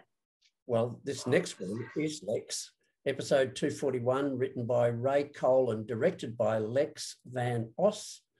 This episode, we see Lizzie Birdsworth back in Wentworth. You had some great scenes with Sheila Florance, and we, we asked all our guests if they have a special story they can share about Sheila. Yeah, sure. And I, I first of all, I'd like to say something about Ray Kolle, the writer. Uh, I worked with him later in, in Neighbours and I got to know him really well. And he'd been in the industry such a long time, was a great guy, and has written so many episodes um, of various shows. Uh, also, very gentle, vulnerable, and, and sweet man to be writing all those tough characters. I really liked that about him. So I'd like to say first that, yeah, he's a great writer. Um, uh, Lizzie, Sheila, was um, nothing like her character. I'm sure everyone has told you that. She was uh, clever and insightful, and uh, she really quick witted. And um, spending time with her in the green room was really nice. She had so much life experience, and she was English formally and had spent. She lived through the Blitz in London. Uh, that she was an amazing person, really amazing, and a really great actor. Um, she was incredibly supportive to me, incredibly su- supportive of me that, that I was pregnant, and was really excited about the baby and really helped me to be really excited about it too. And, and so just a, a all-round good person, but funny and terrific. And that character, that that was a great character, wasn't it? I think I've met people like Lizzie Birdsworth in my journey through life. I've come across people like that who, you know, who just get on and do stuff, get on with their life and don't feel sorry for themselves, which she never did, did she? She just got on and was as nice to people as she could be. And I really liked that character. She was a real, she was a cup half full kind of person, really, yeah. who just did her best and hadn't been dealt a very good hand, I think. That was what was so nice about the character. Really admired it. Yeah, we've, we've fed us some really amazing memories from cast members about Sheila. It's been great. Yeah, she's quite a quite someone. Mm. Just want to quickly go on uh, episode 244 because there are some fans that are asking, and you were right in the middle of it. Was the inmates' uniform change? So mm, yeah, the, uh, the new uniforms. Do, do, you know what the reason was for the new uniforms? Anyone? I think it was an artistic reason. Well, uh, Ken, do you know? Um, I think um, I think the, the threads had gotten to the threads to, a certain extent, and, and that's why they needed to um, update. And it also may have been um, uh, something to do with colour. Uh, so, not that yeah. colour came in, you know, at that time, but but um, just to uplift it a little bit. Just uh, the gingham was a little bit brighter, um, but I, I don't actually know for sure. Yeah, and I think that I think you're actually spot on. I think um, you know while Prisoner was a, a, kind of a monochromy kind of show, even though it was in colour. There were really simple colours, that denimy colour, a lot of grey, occasional the red brick of the walls. There wasn't and grey blankets on the beds and stuff like that. There wasn't much colour in it, and the original denim dresses were you know, you had a jumper underneath or a shirt, but they tended to be just the blue, the grey, and the black and a bit. And I think there was an artistic decision that they needed to zhuzh it up a little bit. So they had those kind of, I think they were, they button, they were button dresses, weren't they? And and there was a choice of three shirts, so you could have the yellow check or the blue check, blue and pink check, and maybe there was another one, I'm not sure. um, which I can't just just just put a little bit of colour into the into the um, scenes, which you know a lot of thought goes into that kind of thing. I think that I think that might have been the reason why.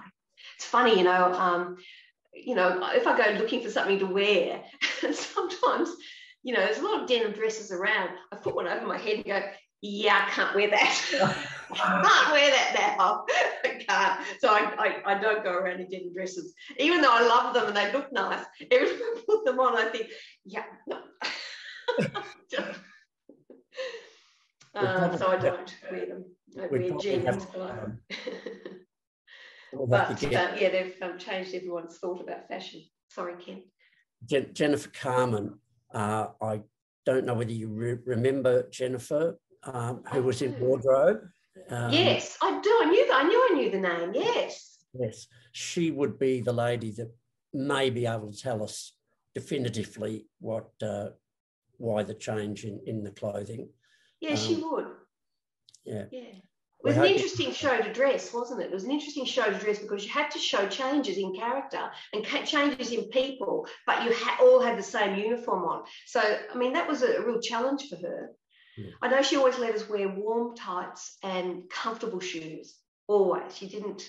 So, you know, we spent a lot of time in those uniforms and I wore really solid, comfortable shoes and, and uh, it was, yeah, it was better than the poor, the poor kids in bikinis. Sucking eyes. Speaking of um, denim dresses and going out, were you when you were in prisoner or after prisoner, were you recognised a lot out in the street when you were out? I was, yes, I was, um, and uh, it was my haircut, I suppose. I, if I kept my hair short, sometimes I'd change my hair. And a few years ago, around about only a few years ago, so and I'm old, much older. Not that old. I'm much older. But I had my hair cut and it must have been like a prisoner cut. And I wasn't aware of it.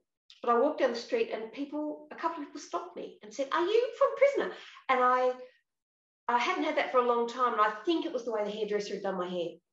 Wow. So sometimes, and I wear specs most, I mean, I always did wear specs, but I didn't have them on for prisoner. But I, I um, I'm so old now, I do need them to see your faces.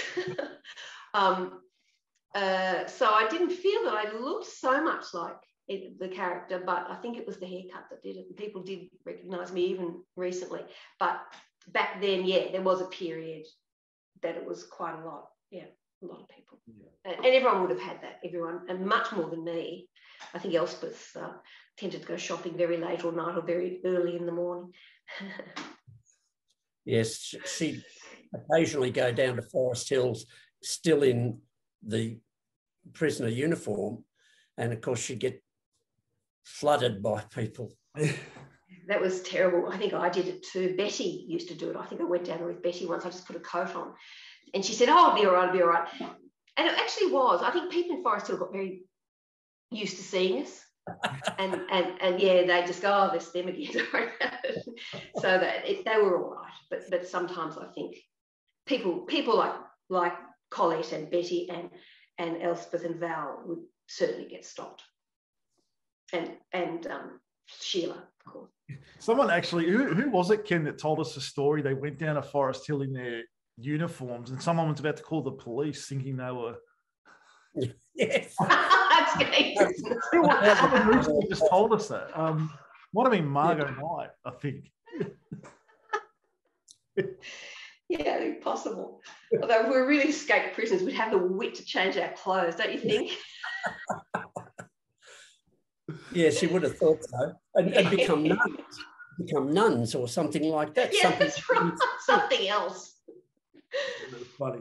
yeah, I don't know how we were allowed to do that. That's a funny thing, isn't it? It was so close, and you think, oh, let's just go out there for lunch because normally we just had lunch in, but um, uh, and they'd say, oh, come on, we just put a coat on. And sometimes wardrobe would let us have a little coat. We'd put it on, just run down. I don't know, we are allowed. I, on other shows I worked for in, you wouldn't be allowed to do that, but we were, we did. Yeah. If it's probably health and safety or something or other, there's some would be some regulation now that would stop you. Uh, episode 245, which was written by Rick Mayer, directed Rick Mayer, by yes by Juliana Focht. cameramen were John Galvin, Barry Pullen, and uh, I was there too. Um, the lead up to the big riot, which is called by many fans the Sandy Edwards riot, we see the introduction of Marie Winter, played by Maggie Millar. What was it like working with Maggie? Um, many fans say that this was the best era of Prisoner. She created a really scary character, didn't she? Marie was scary. Maggie wasn't. Maggie was a, a really good person. She was a nice person. I used to drive her home sometimes because she was staying close by. Um, just a terrific person. Uh, she's a she went to RADA. She's a really um, clever and talented woman. Uh, and since and I've seen her in lots of things, and she's always been good, really good actress. Um, she was great. She was great to work with. That uh, that, but she was she was quite frightening. She created a real chill around you know that character when she was in character she, on the set. You know, we'd walk together from the green room to the set, and we'd be you know chatting and and then on the set she she became a, a very formidable character. And you know sandy was meant not to be uh, intimidated easily. So i had to use all my powers not to be because she was very effective as a frightening character. A frightening character that didn't have a, a, a particularly strong moral compass which is why i think that's the kind of thing that makes someone frightening isn't it you know, with Sandy, they sort of, you know, they said, oh, she has a, she knows what justice is. So you kind of know where you stand. But with Marie, you never knew where you stood. That's really scary, isn't it? Yeah. She was great, just great. Yeah. Yeah, such a great character. Um, episode 247, 248, 249, which Ken just mentioned was called by all the fans the Great Sandy Edwards Riot. Uh, it was written by Ian Bradley. Well, it is. It's the unofficial title. Good. Um, Ian I'm Bradley. So, I'm so excited to have a riot named after me. Now, help me if I get something wrong here, Ken. So it was written by Ian Bradley. The script editor was Ian Smith. Storyliners were John Mortimore, Andrew Kennedy, Dave Worthington, Michael. Now, this is where I'm going to slip up. F R E U N D T. Um, any volunteers? Freud. F R E U N D T. Michael yeah. Freud. Yeah. Freud. Okay. Sorry, Michael. Cameraman Ken Mulholland, Peter Hine, Barry Pullen, and directed by Leigh Spence. So, can you share your memories of the riot with the fans? Because the fans say this was one of the greatest riots in Wentworth in the show's entire run ah, wow. Ah, okay. Okay, there were there were I remember two. The riot was when we took over completely, and there was another one when uh, yeah, Sandy jumped to the floor and ran outside, screaming that they weren't allowed to bring the uh, the cops in. I think I should have watched this before I came no, on. So it's a long time ago. Um, that was one of the ones where uh, when I talked about continuity, you shot your outside stuff the week before you shot your inside stuff. So you had to keep track of how enraged you were on the outside because I think there was a scene on the outside where I was shouting and then I burst inside, which was a week later, and I had to burst in at that same level of anger. And that was, you know, so you had to make notes and make mental notes and really think about where you're at. Is that hard? Is that hard Sorry? to do? Is that hard to do to go back to that anger that you had in the You have to remember, you have to remember so you can find it again. You have to remember what, you know, if you gave yourself a number of one, two, three, four, five, six, seven, eight, nine, ten for anger, and you left that scene at number eight, you've got to come into the inside scene at number eight as well. And that, yeah, I, yeah, I suppose it is hard to do, but you being aware of it's really important um, and then you can you can do it. But I remember that there was a lot of that. So I was going out of scenes at some level. I had to find that same level to come into the next scene at. So I was keeping the continuity going. I, I don't know whether I succeeded uh, all the time, but but yeah, you're thinking about when you're doing things like that. You're thinking about that all the time, where you have to be, where you have to have to pitch your emotions. And I think that's uh, that's a challenge. And sometimes those scenes are about that. You're thinking so hard about that, you're not even aware of the of the drama of the scene rolling on.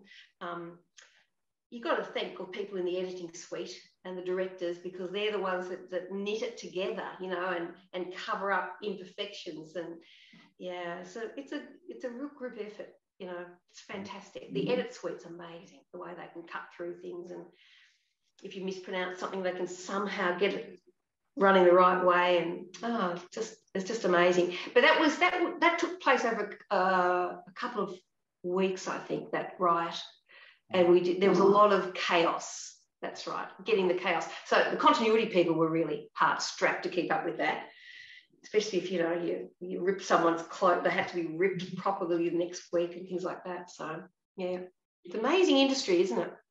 It is. Know little bits of it. You know, I know my little bits of it, but you know, there's a whole lot of other people doing astonishing things all around, makeup and things like that. So, in in actual fact, that that those three uh, episodes would have taken what a couple of weeks to to put together or, yeah, long? Certainly. Could take us. I, mean, I, can't remember how they were spread out. Could it could have taken up to three weeks, couldn't they? Yeah, yeah, yeah. Because you do all your outside broadcasts first with the scene from the last week. Yeah, yeah. Well, two weeks certainly. Yeah, maybe even three. Speaking of uh, outside broadcasts, so there was a scene outside the loading bay at night where the all the officers are holding their rifles. And you guys That's are throwing fire bombs. What was it like shooting that scene? it's freezing cold. I remember it being really, really cold. And we were just outside the studios. You know, it's in the studios at Channel 10, what was Channel 10. Um, uh, so we're using the studio walls to make it look like a prison wall um, and running inside. So you're standing around a lot. You know, television and film is a lot, a lot of standing around, as, as I'm sure you know. Um, so you have to, yeah, the hard part is getting that emotion up, getting your, your adrenaline up after you've been standing there in the cold for 15 minutes.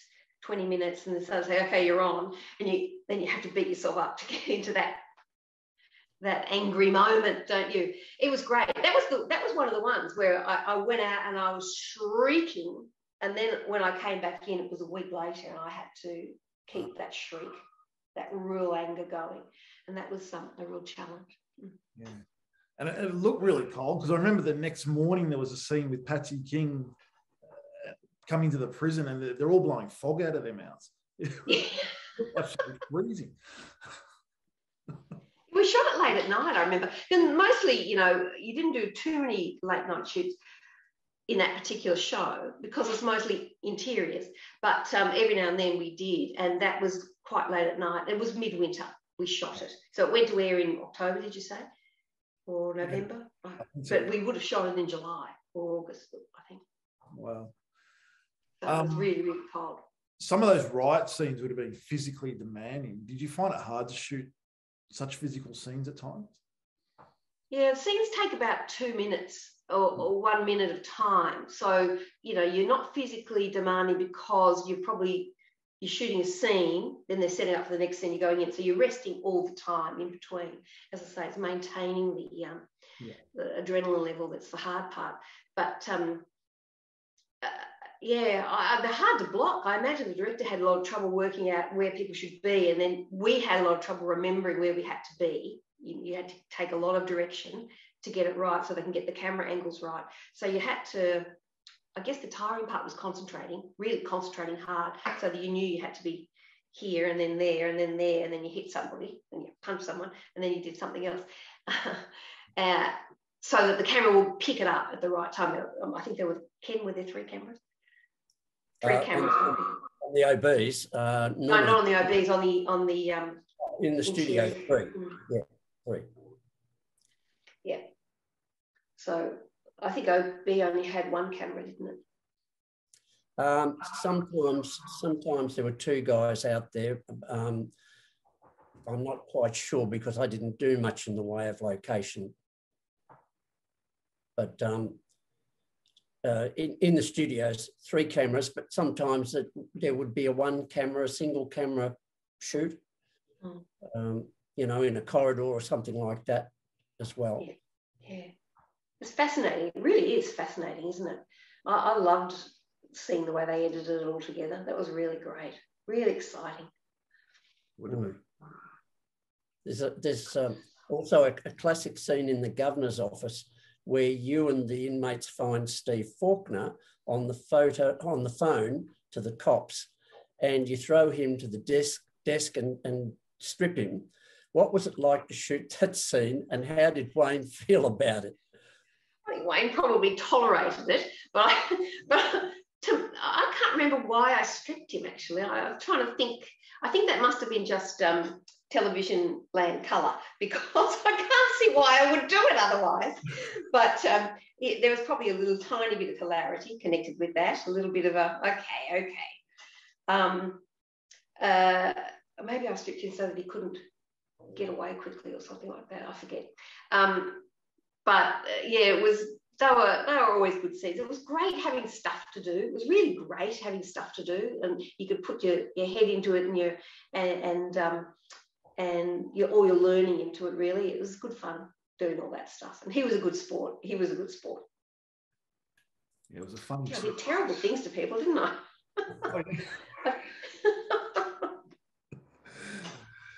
now we get on to episode 265, which was written by Ian Bradley and directed by Lex Van Os.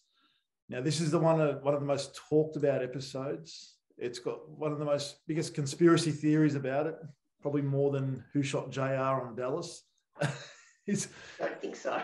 it's spoken about a lot. So obviously, at the end of uh, the episode, you're going out to uh, kill Kate Peterson. You've told yep. Murray about it, and you're both walking to the bins, and the dump trucks come in and taking. And all of a sudden, then uh, you're gone, and, and Dr. Kate walks back in, and, and the, the, look on Marie's face is absolutely it's absolutely priceless because she's expecting you to walk back in. And then uh, very cleverly at the end, we see the truck drive out the gates, but it's filming underneath. And then. Mm, yeah, that's right. Yeah. Like, there are lots of theories, aren't there? There's actually fights on uh, Facebook groups between fans on what really happened to Sandy Edwards. Now, it's it's a known fact that we know that you fell pregnant, obviously, on the show. But could you put what you think happened to Sandy? Okay. I, I, first of all, I'd like to say that everybody's theories are possibly correct because thing there wasn't ever. Sorry, say that again, Matt. There's a lot. One, one, one fan even said that Steve Faulkner helped you escape and you went off to live in another another country. That's a good idea. That's a good idea. Well, none of them are wrong because there was never uh, a, um, a definitive uh, explanation, even to us, right? Never. Um, so what the reality was that I was pregnant, and I think I was about six months pregnant then. and I've been hanging my, holding my stomach in a lot, and um, carrying around baskets of laundry in front of me. In fact, I think props should just throw a basket of laundry at me and say, "Hold that." Um, so I had to leave. Um, there had been uh, some talk of bringing in the pregnancy. That's which is why I had the um, on-air affair with Wayne, Jarratt's character. Um, but because my husband was in Sydney and it was our first baby, I really felt that I needed to go to Sydney. So I said, no, I think perhaps thank you very much, but I'd better go. So th- this thing came up and it was left open whether I died or not because we didn't know what we wanted to do and they didn't know what they wanted to do. They might have had stories that went on. I might have been able to come back or not, depending. So there was a lot of openness. Uh, and I think so. Any of the theories are possibly correct. And I think the implication that Kate killed me is certainly a strong one. I don't like to think Sandy died though. I really don't. I felt like she had she had that cockeyed optimism, even though she'd been through a rough life, that and her a desire to survive that was really strong. And I reckon she made all the plans. She's going to kill her. She's going to go out, she's going to do what, and everyone was expecting it. But just as she had stepped away from the press when Bea came in and said, No, you know, you're the top dog, she was capable of planning and uh, tricking people. And I think, I think she said, It's time I left. It's got too hot. It's got hard. It's got too hot. A couple of bad things have happened. Marie's out of control. Kate's out of control. I need to look after number one. And I think she would have looked after number one. And I think she had plans. And she thought she might try and mount an escape. And I think she somehow got into that truck. But then I don't know how she got into the truck without being squished. So I haven't thought that one all the way through. But I think there's a possibility that Sandy got out and got away yeah. and either complete continued her life of crime successfully or maybe changed. You never know. But I would like to say that Peter, Peter sorry, sorry, go on, Matt. No, that's what I'm saying. That's what's so clever about that scene with the truck driving out was you you didn't know. No. Yeah. No. It's good that it's good really in a way. But but but my theory, the one I hold in my heart, is that she actually got away. And she might have been able to turn her life around, although possibly not. but but she got away and didn't get brought back in. So maybe she survived. I don't know. I don't know. But I was going to say um, the cameraman Peter Hind presented me with a um, uh, a little uh, garbage truck as a gift, as his parting gift as I left. And I have it for years. Now, I don't have it now because my own children played with it so much, eventually went the way of all things. But I did have it for a long, long, long time, Peter, if you're ever listening to this. So thank you for my garbage truck. Can I, just before Ken asks his next question, so the writers did want to keep you in with the pregnancy. That was floated around that storyline. That was floated, yes. That was definitely floated. That was why there was that me, I think there was the character in um, solitary confinement, and she actually ended up um, uh, sleeping with uh, uh, Wayne Jarratt's character, Steve. Um, I think that's what they wanted. They thought that would be the a good way of keeping it going. Um, but uh, anyway, that's that's history now. And I probably wouldn't have worked out for me so well. You know, yeah. first babies, I was very keen to be home with my husband. Definitely. Well, thank you for putting an end to every conspiracy theory. Oh, I don't think I have. I'm sure they're all right. I'm sure they're all correct. That was just my theory. there's, there's, more to come. There's more to come. Um, the uh, the next question that I was going to ask was um, already has already been been uh, answered. So uh, I'm, I'm going to go down to the fan comments on the Sandy Edwards mystery. This is the uh, this is London Underground SHR and Retro. I'm not quite sure what, who and what that is, but Sandy's Vanishing Act is an iconic moment in the history of Prisoner. It remains a mystery, but you could come to your own conclusions. It may be that Peterson overcame Sandy somehow, then bundled her into the garbage track, truck where she was crushed to death. Her body was never found. that's that's the London Underground's comment. Yes, and then that's um, a good one. It is. Karen Nichols said, Funny, I was thinking that Sandy's disappearance was the only real mystery in Prisoner. Personally, I think Kate killed her and put her in the garbage truck, but we'll never know until now. No. Um, G. Quinn also says, I think Kate killed Sandy. Sandy was planning to escape all right, but not right then. Her main aim was to kill Kate first. Kate, however, got more and more crazy by the minute with her bad nerves and fear. In some cases, people with mental health problems to the extreme can produce an un unexpected level of strength and power. Kate probably just flipped, defending herself. Sandy, as a result, was caught off guard. By fluke, Kate got the upper hand, got the knife from her in a struggle, and stabbed her. And we could mention hundreds more, but let's just say that Sandy Edwards' storyline was a huge hit on Prisoner. There is oh, a great. hashtags on Facebook, uh, hashtag Sandy Lives. Which is a big hashtag, Sandy Lives. That's really nice. That's really nice. I think they're all really good theories, but uh, uh, I, and possibly correct, but I fall back on Sandy's survival instinct. Okay, that's the thing I always think about. And I think about yeah, Kate was Kate was scary, and as, as I say, people you can't predict are often the most scary, which is what was so fabulous about the Marie Trevor, uh, the Marie um, uh, Marie's character. But uh, I think that Sandy, or she might have been caught off guard, but I think she had she had a lot of street smarts, which Kate didn't have. Kate was too privileged; she didn't have the street smarts. So yeah. I'm hoping Sandy street smarts, street smarts, street smarts held her in good stead.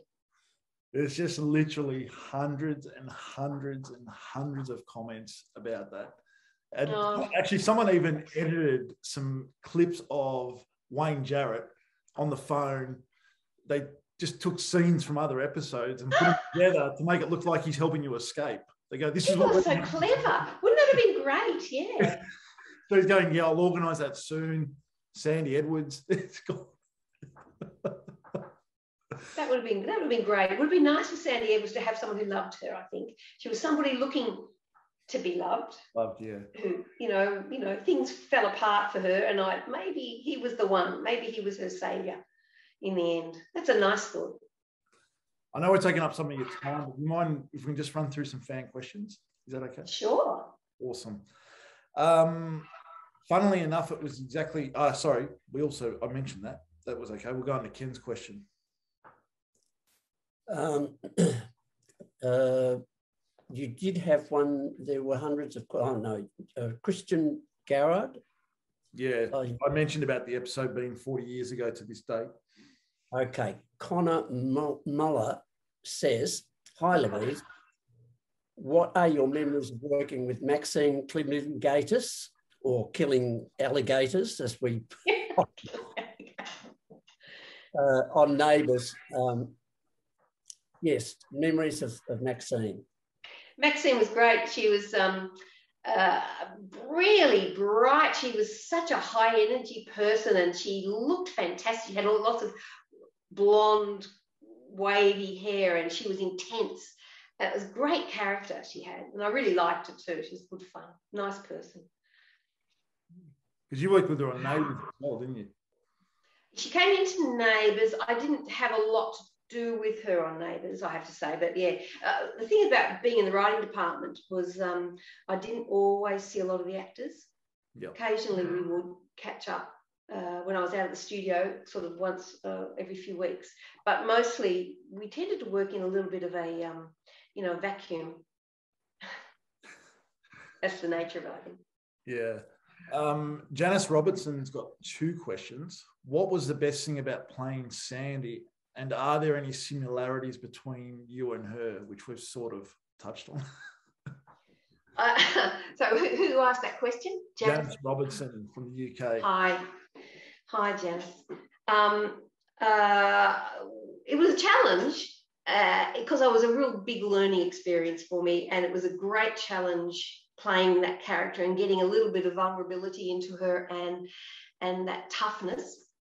And I, whether she's I guess uh, you try and find the when you're looking at a character, you try and find the bits that you can relate to. Um, so somewhere along the line, there's something about it that was me, but mm, I don't know. I think if you're looking at this, you might be able to observe bits of her that were like me, but I don't know. I don't know that I am. Um, I don't think I've had that lack of luck she'd had in her life. She'd had a tough life, that character and and uh, and I think that's what that was what was so nice about her, so noble about her, really, because she was tough, but she wasn't really mean. She was, yeah, vulnerable. Um, Shalanda wrote Drew and wedding episode of Neighbours, which was Scottish themed. How much did you know about Scotland before writing the episodes? And have you been to Scotland? It was a great episode, by the way. I loved it. Oh, that's great. Thanks. Um, well, uh, first of all, uh, Judith Colquhoun created that character of Drew Kirk. And when we were talking about the wedding, it, I said, who, who, lived in country Victoria, and I, I remember having a discussion and suggesting that uh, Drew Kirk is a Andrew Kirk is a good Scottish name, so maybe he has a lot of Scottish relatives, and we could say that they're recent uh, settlers from uh, Scotland to Australia, and um, maybe they call in the clans when it's a wedding time, and it, it just seemed like such a colourful thing to go with um, that we would do it, and that was uh, took a lot of planning. I haven't been to Scotland, but you know, I'm you know from English and Irish stock and French stock, and I uh, I have a, I've read a, read a lot. I guess it's not the same as going there. I know, um, but uh, we did a lot of and Judith Colquhoun with a name like Colquhoun, she she knew a lot about Scotland. So we did a lot of research. We found some uh, actors who could do Scottish accents, and um, and we tried to find a tartan that would work for them. Um, because Judith knew all about, you know, who could wear what tartan, which I didn't know anything about. So it was quite a learning thing for me. It was really exciting. And then we uh, used the other thing we did was we used that lovely uh, poem uh, by Robbie Burns and uh, set to music. And we knew that we had a great singer on the cast in the form of Ian Smith. Ah. And, uh, you know, these people with hidden great talents that weren't necessarily part of their character. So we, uh, so we got together and thought we'd bring that, that, that song in which is a song I used to sing to my children when they were little. So I, I was very familiar with it. Will you go, lassie, go? That one. And um, and the, the characters thought they, they'd do it, but we had Ian come in to help because we knew that he would carry that off brilliantly, and he did. So it was good fun. It was really good fun. There was a lot of fun stuff about writing neighbours. A lot of fun, you know, the the brief was to be family and fun actually. So we tried to do that as much as possible. Fantastic. The next, the next one is uh, just a simple statement from Anthony Burrows. The Sandy Kate Marie period was my absolute favourite. Thank you very much. Thank you very much. I had a great time too, and and uh, I was working with such good actors, such good actors. It was just a pleasure to do. And it was a big team thing and really grateful that you liked it so much because it was great fun too. Yeah.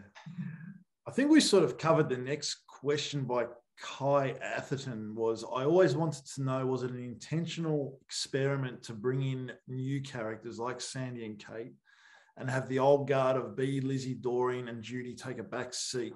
Was it a way for the producers and writers to know if the show could work with a change to their principal cast? But you did explain that Val was uh, taking a movie part at the time, so I guess that really that was part of it, yeah. But, the, but but it's true that ongoing shows need new characters because you can't once you've got a character and you've done a whole lot of stories with them, you can't change their character to create new stories. So sometimes you have to bring in somebody else who impact on those characters, which generates new stories. And if they're popular enough, they stay around.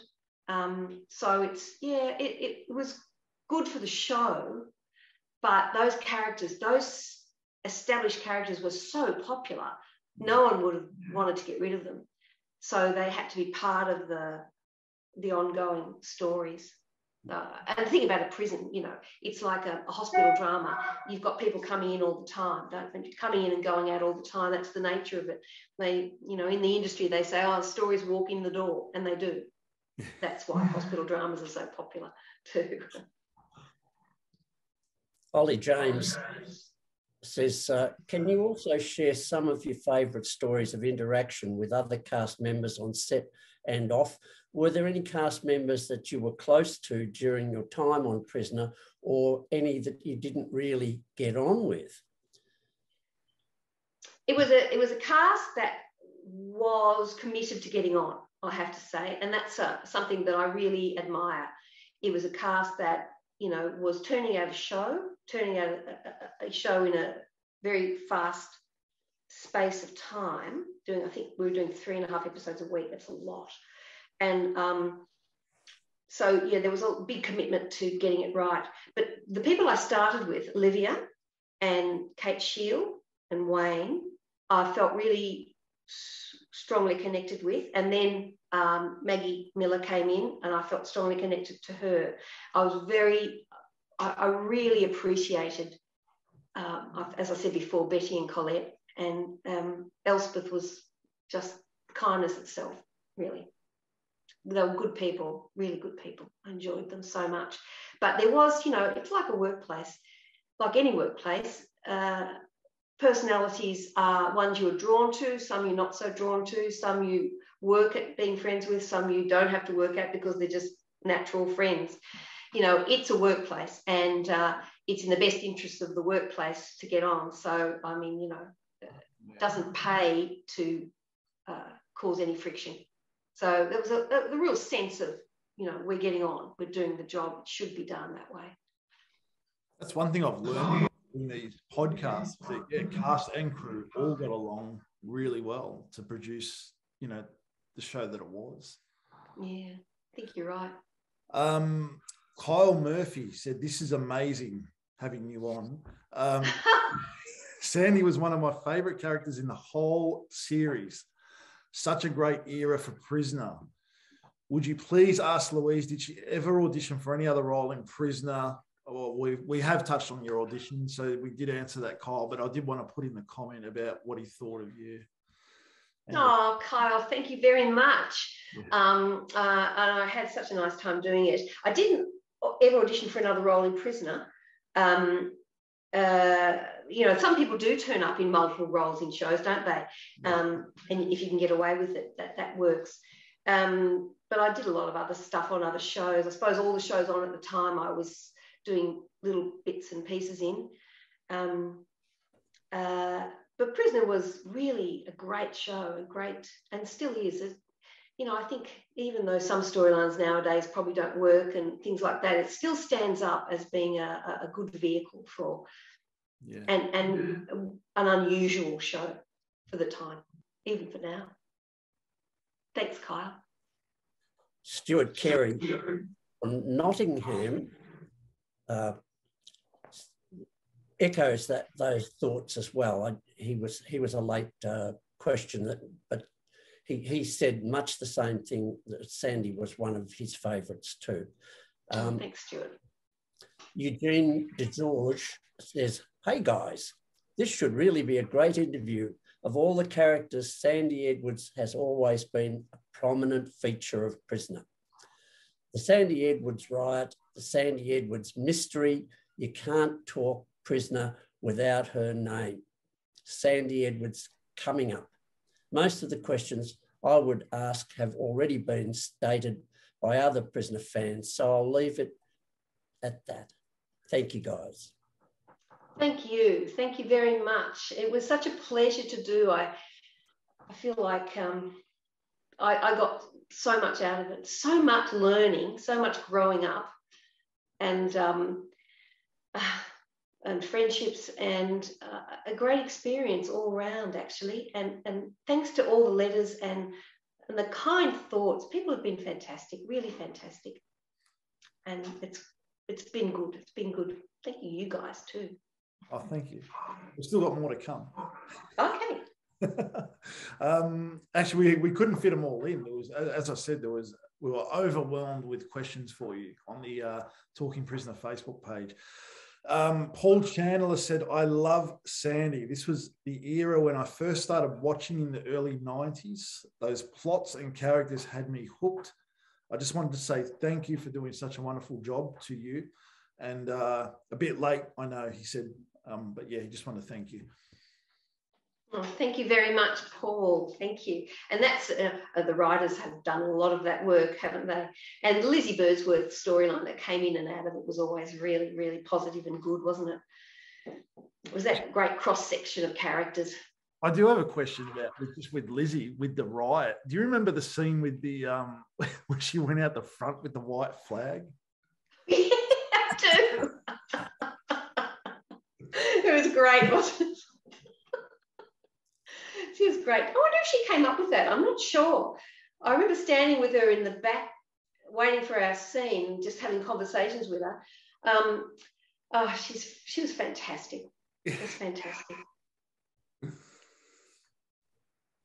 The um, another another comment from James Gibson. I'll I'll just shorten this down a little bit because what he's asked has, has already been uh, answered, I think.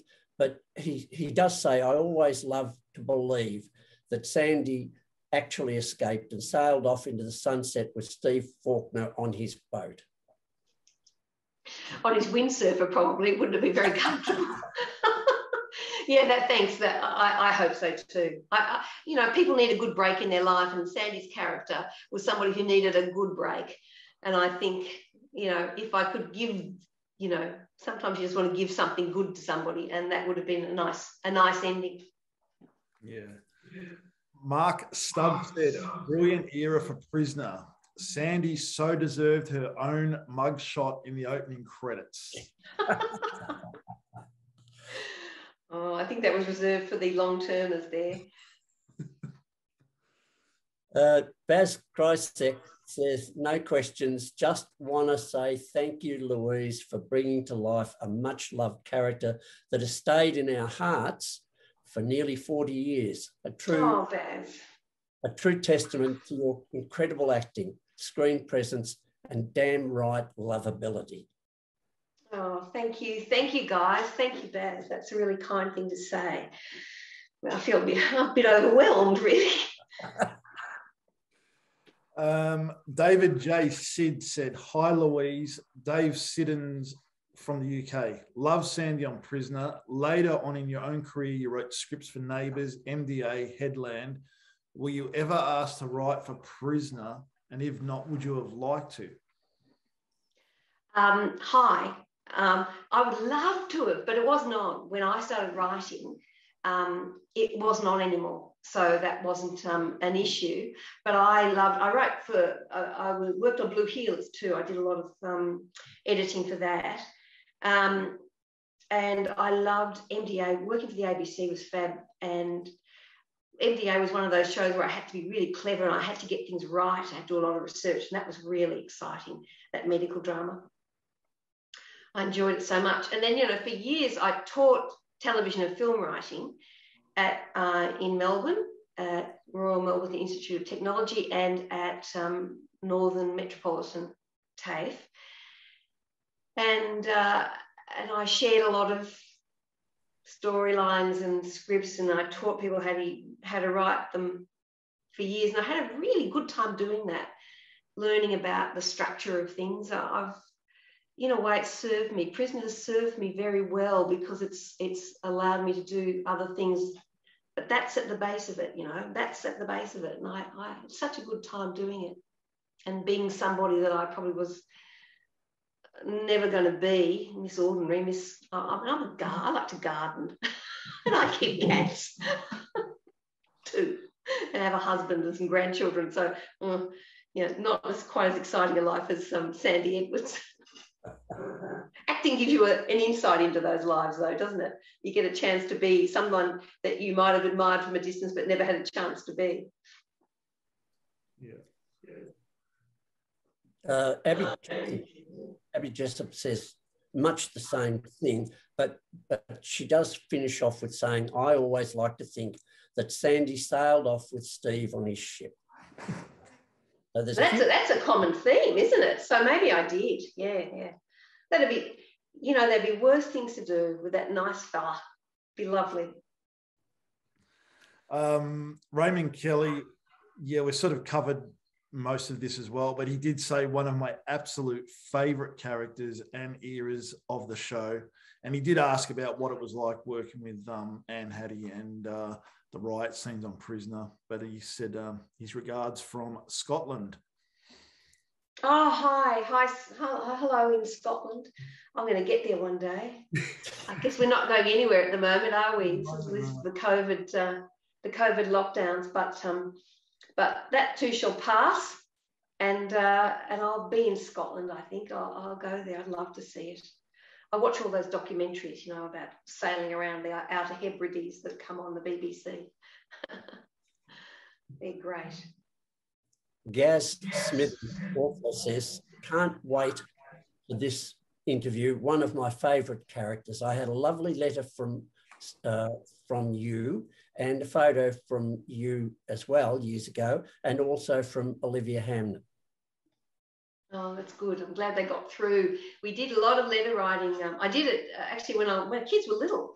Uh, my children were small, and uh, uh, I was mostly at home with them. I did a lot of letter writing then. I, have had a I had a stockpile, and I, I, you know how when you're guilty about something, it burns a little hole in your mind, and that stockpile of letters would just burn a little hole And. Eventually, I, I sat down and I got a whole lot of pictures printed, and I I read I read all the letters. Just, just to let you know, I did read them all, and I, and thank you very much, everyone. And I wrote back, and I I think I probably told people a bit about my life uh, at the time, and um, and you know how much fun it had been, and um, yeah, oh, I can't keep on saying thank you, but thank you anyway. Um, Hembro. So we've already touched on one of his questions, but he said, yes, yes, yes. Love the end of year, right? Cliffhanger. My question was what it was like to film that, which we've spoken about. But he also did ask, what was your favorite storyline on Prisoner that you did? Um, uh, I think it probably was the, uh, there was somebody that came in and I killed. I can't remember much about that one. I liked I liked that, and I liked the one towards the end when Kate uh, strung me up, and there was that scene where I had to struggle to get um, released from a rope, uh, and I thought that was uh, I really liked doing that. I found that a really interesting thing to do, and I also liked when I stole the tablets for Bea at the beginning and stuck them in my bandage, and uh, to give to her that was, I don't know if it was an act of kindness or was an act of political kindness to try and get in with the top dog, but but um, it was a really nice little storyline and uh, probably a big challenge to the writers or getting that to to coordinate properly. While Bea became ill. That was that thing where she became more and more ill, and then she was taken away to go to yeah, I think it was storyline with the kidney transplant. She needed. That's right. That was what. Yeah. So they gave her the kidney transplant story to get her so she could go and do the film. Val could do the film, and um, and that's when I took over. That's right. Yeah. John Walters says, "Can I ask Louise if she has a phobia of bin men?" Has she, has she been or been to the UK and say hello from John Walters in Manchester, UK. Hello, John. uh, I don't have a phobia of big men, I don't think. I am very grateful to them, really. Uh, uh, but I often think, I actually, I am reminded of that sequence quite often because bins are part of our lives, aren't they? Lots of bins these days. Um, I have been to the UK. I, I, uh, I went to Ireland and uh, I, I went, uh, I travelled around England and took a train to Liverpool and Manchester and looked around at the sites there. Uh, most Australians get there eventually, don't they? And, you know, walked around and looked at those blue, blue um, uh, uh, plaques that are on historic houses. Um, I'm a big reader and I like history, and uh, that was really exciting. Uh, I'd love to go there again. I'd love to go there and just spend a lot more time. It seems like it's a, it's about I think England's about the same size as Victoria, where I live, but there is so much packed into it. it's an incredible um, it's an incredible place. Yeah. And turns out some of the best television I've ever seen. That's some great TV. I, just speaking of Bin men, I, it was a few years ago. I, I, saw a comment on the YouTube episode of that, and I, and I, was trying to find it the other night so I could so I could read it to you. Apparently, someone had called up. It was TNT that were doing the that was the bin truck back then. Yeah, it would have been the local bin people. Yeah, yeah which is a great company. Um, rang TNT to see actually what happened to you. Oh. I was trying to find it everywhere like, the other night, like, and I couldn't find it. But I remember seeing that comment a long time ago. It was quite funny. Now that's interesting, Matt, because if I'd been killed, here's logic here: if I had been killed, they would have found my body. TNT, yes. TNT would have found my body. So there you are. That's fed completely into my theory and several other people's theory that she made a break because otherwise yeah. they would have found human remains and they didn't. It would have been right onto it.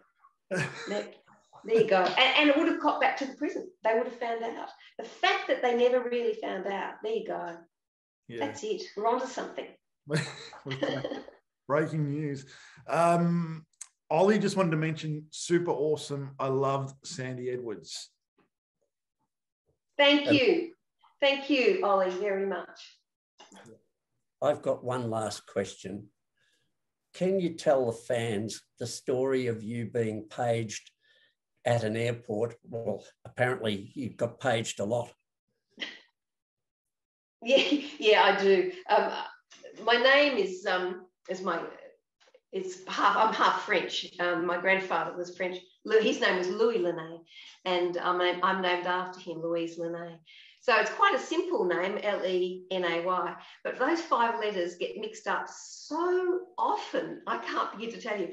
And so all my life, I've it's been mispronounced, and uh, quite often it's people get it wrong and they and they page me, you know, at the bank or in shop or if I'm waiting for something, or, or worse at an airport, and you don't recognize it, but you hear this voice over the headphone going, Miss Leaney, Lois Leaney, could you make your way to the to the front desk, please? Paging Lois Leaney.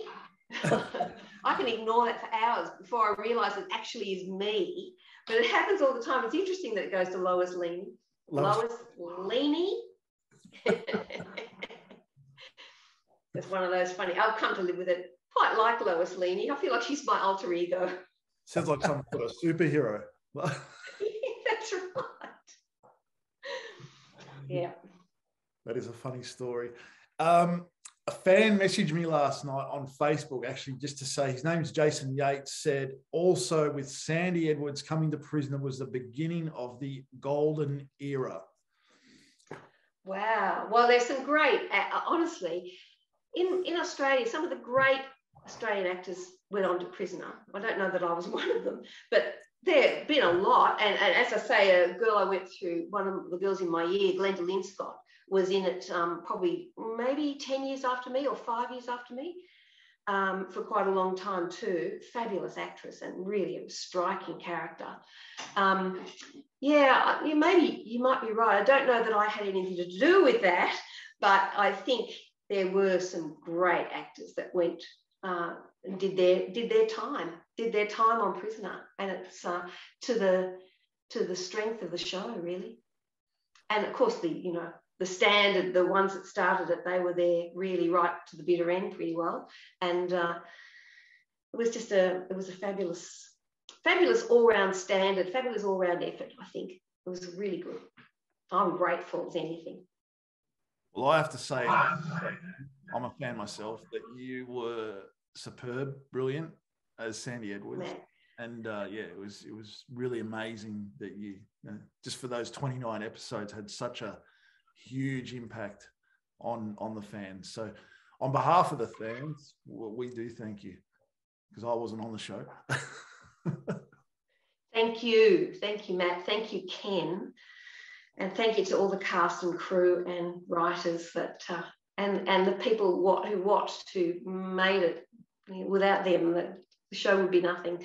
Thank you so much. Thank you so much for having me. And best wishes to everybody in COVID. Double jab. COVID. Yes. double jab. That was episode 17 of Talking Prisoner. And thank you for watching. Please subscribe to our YouTube channel. And this episode of Talking Prisoner is also available across all the podcast platforms, including Apple, Spotify, iHeart, and the 50 others. And it'll also be on our website, talkingprisoner.com.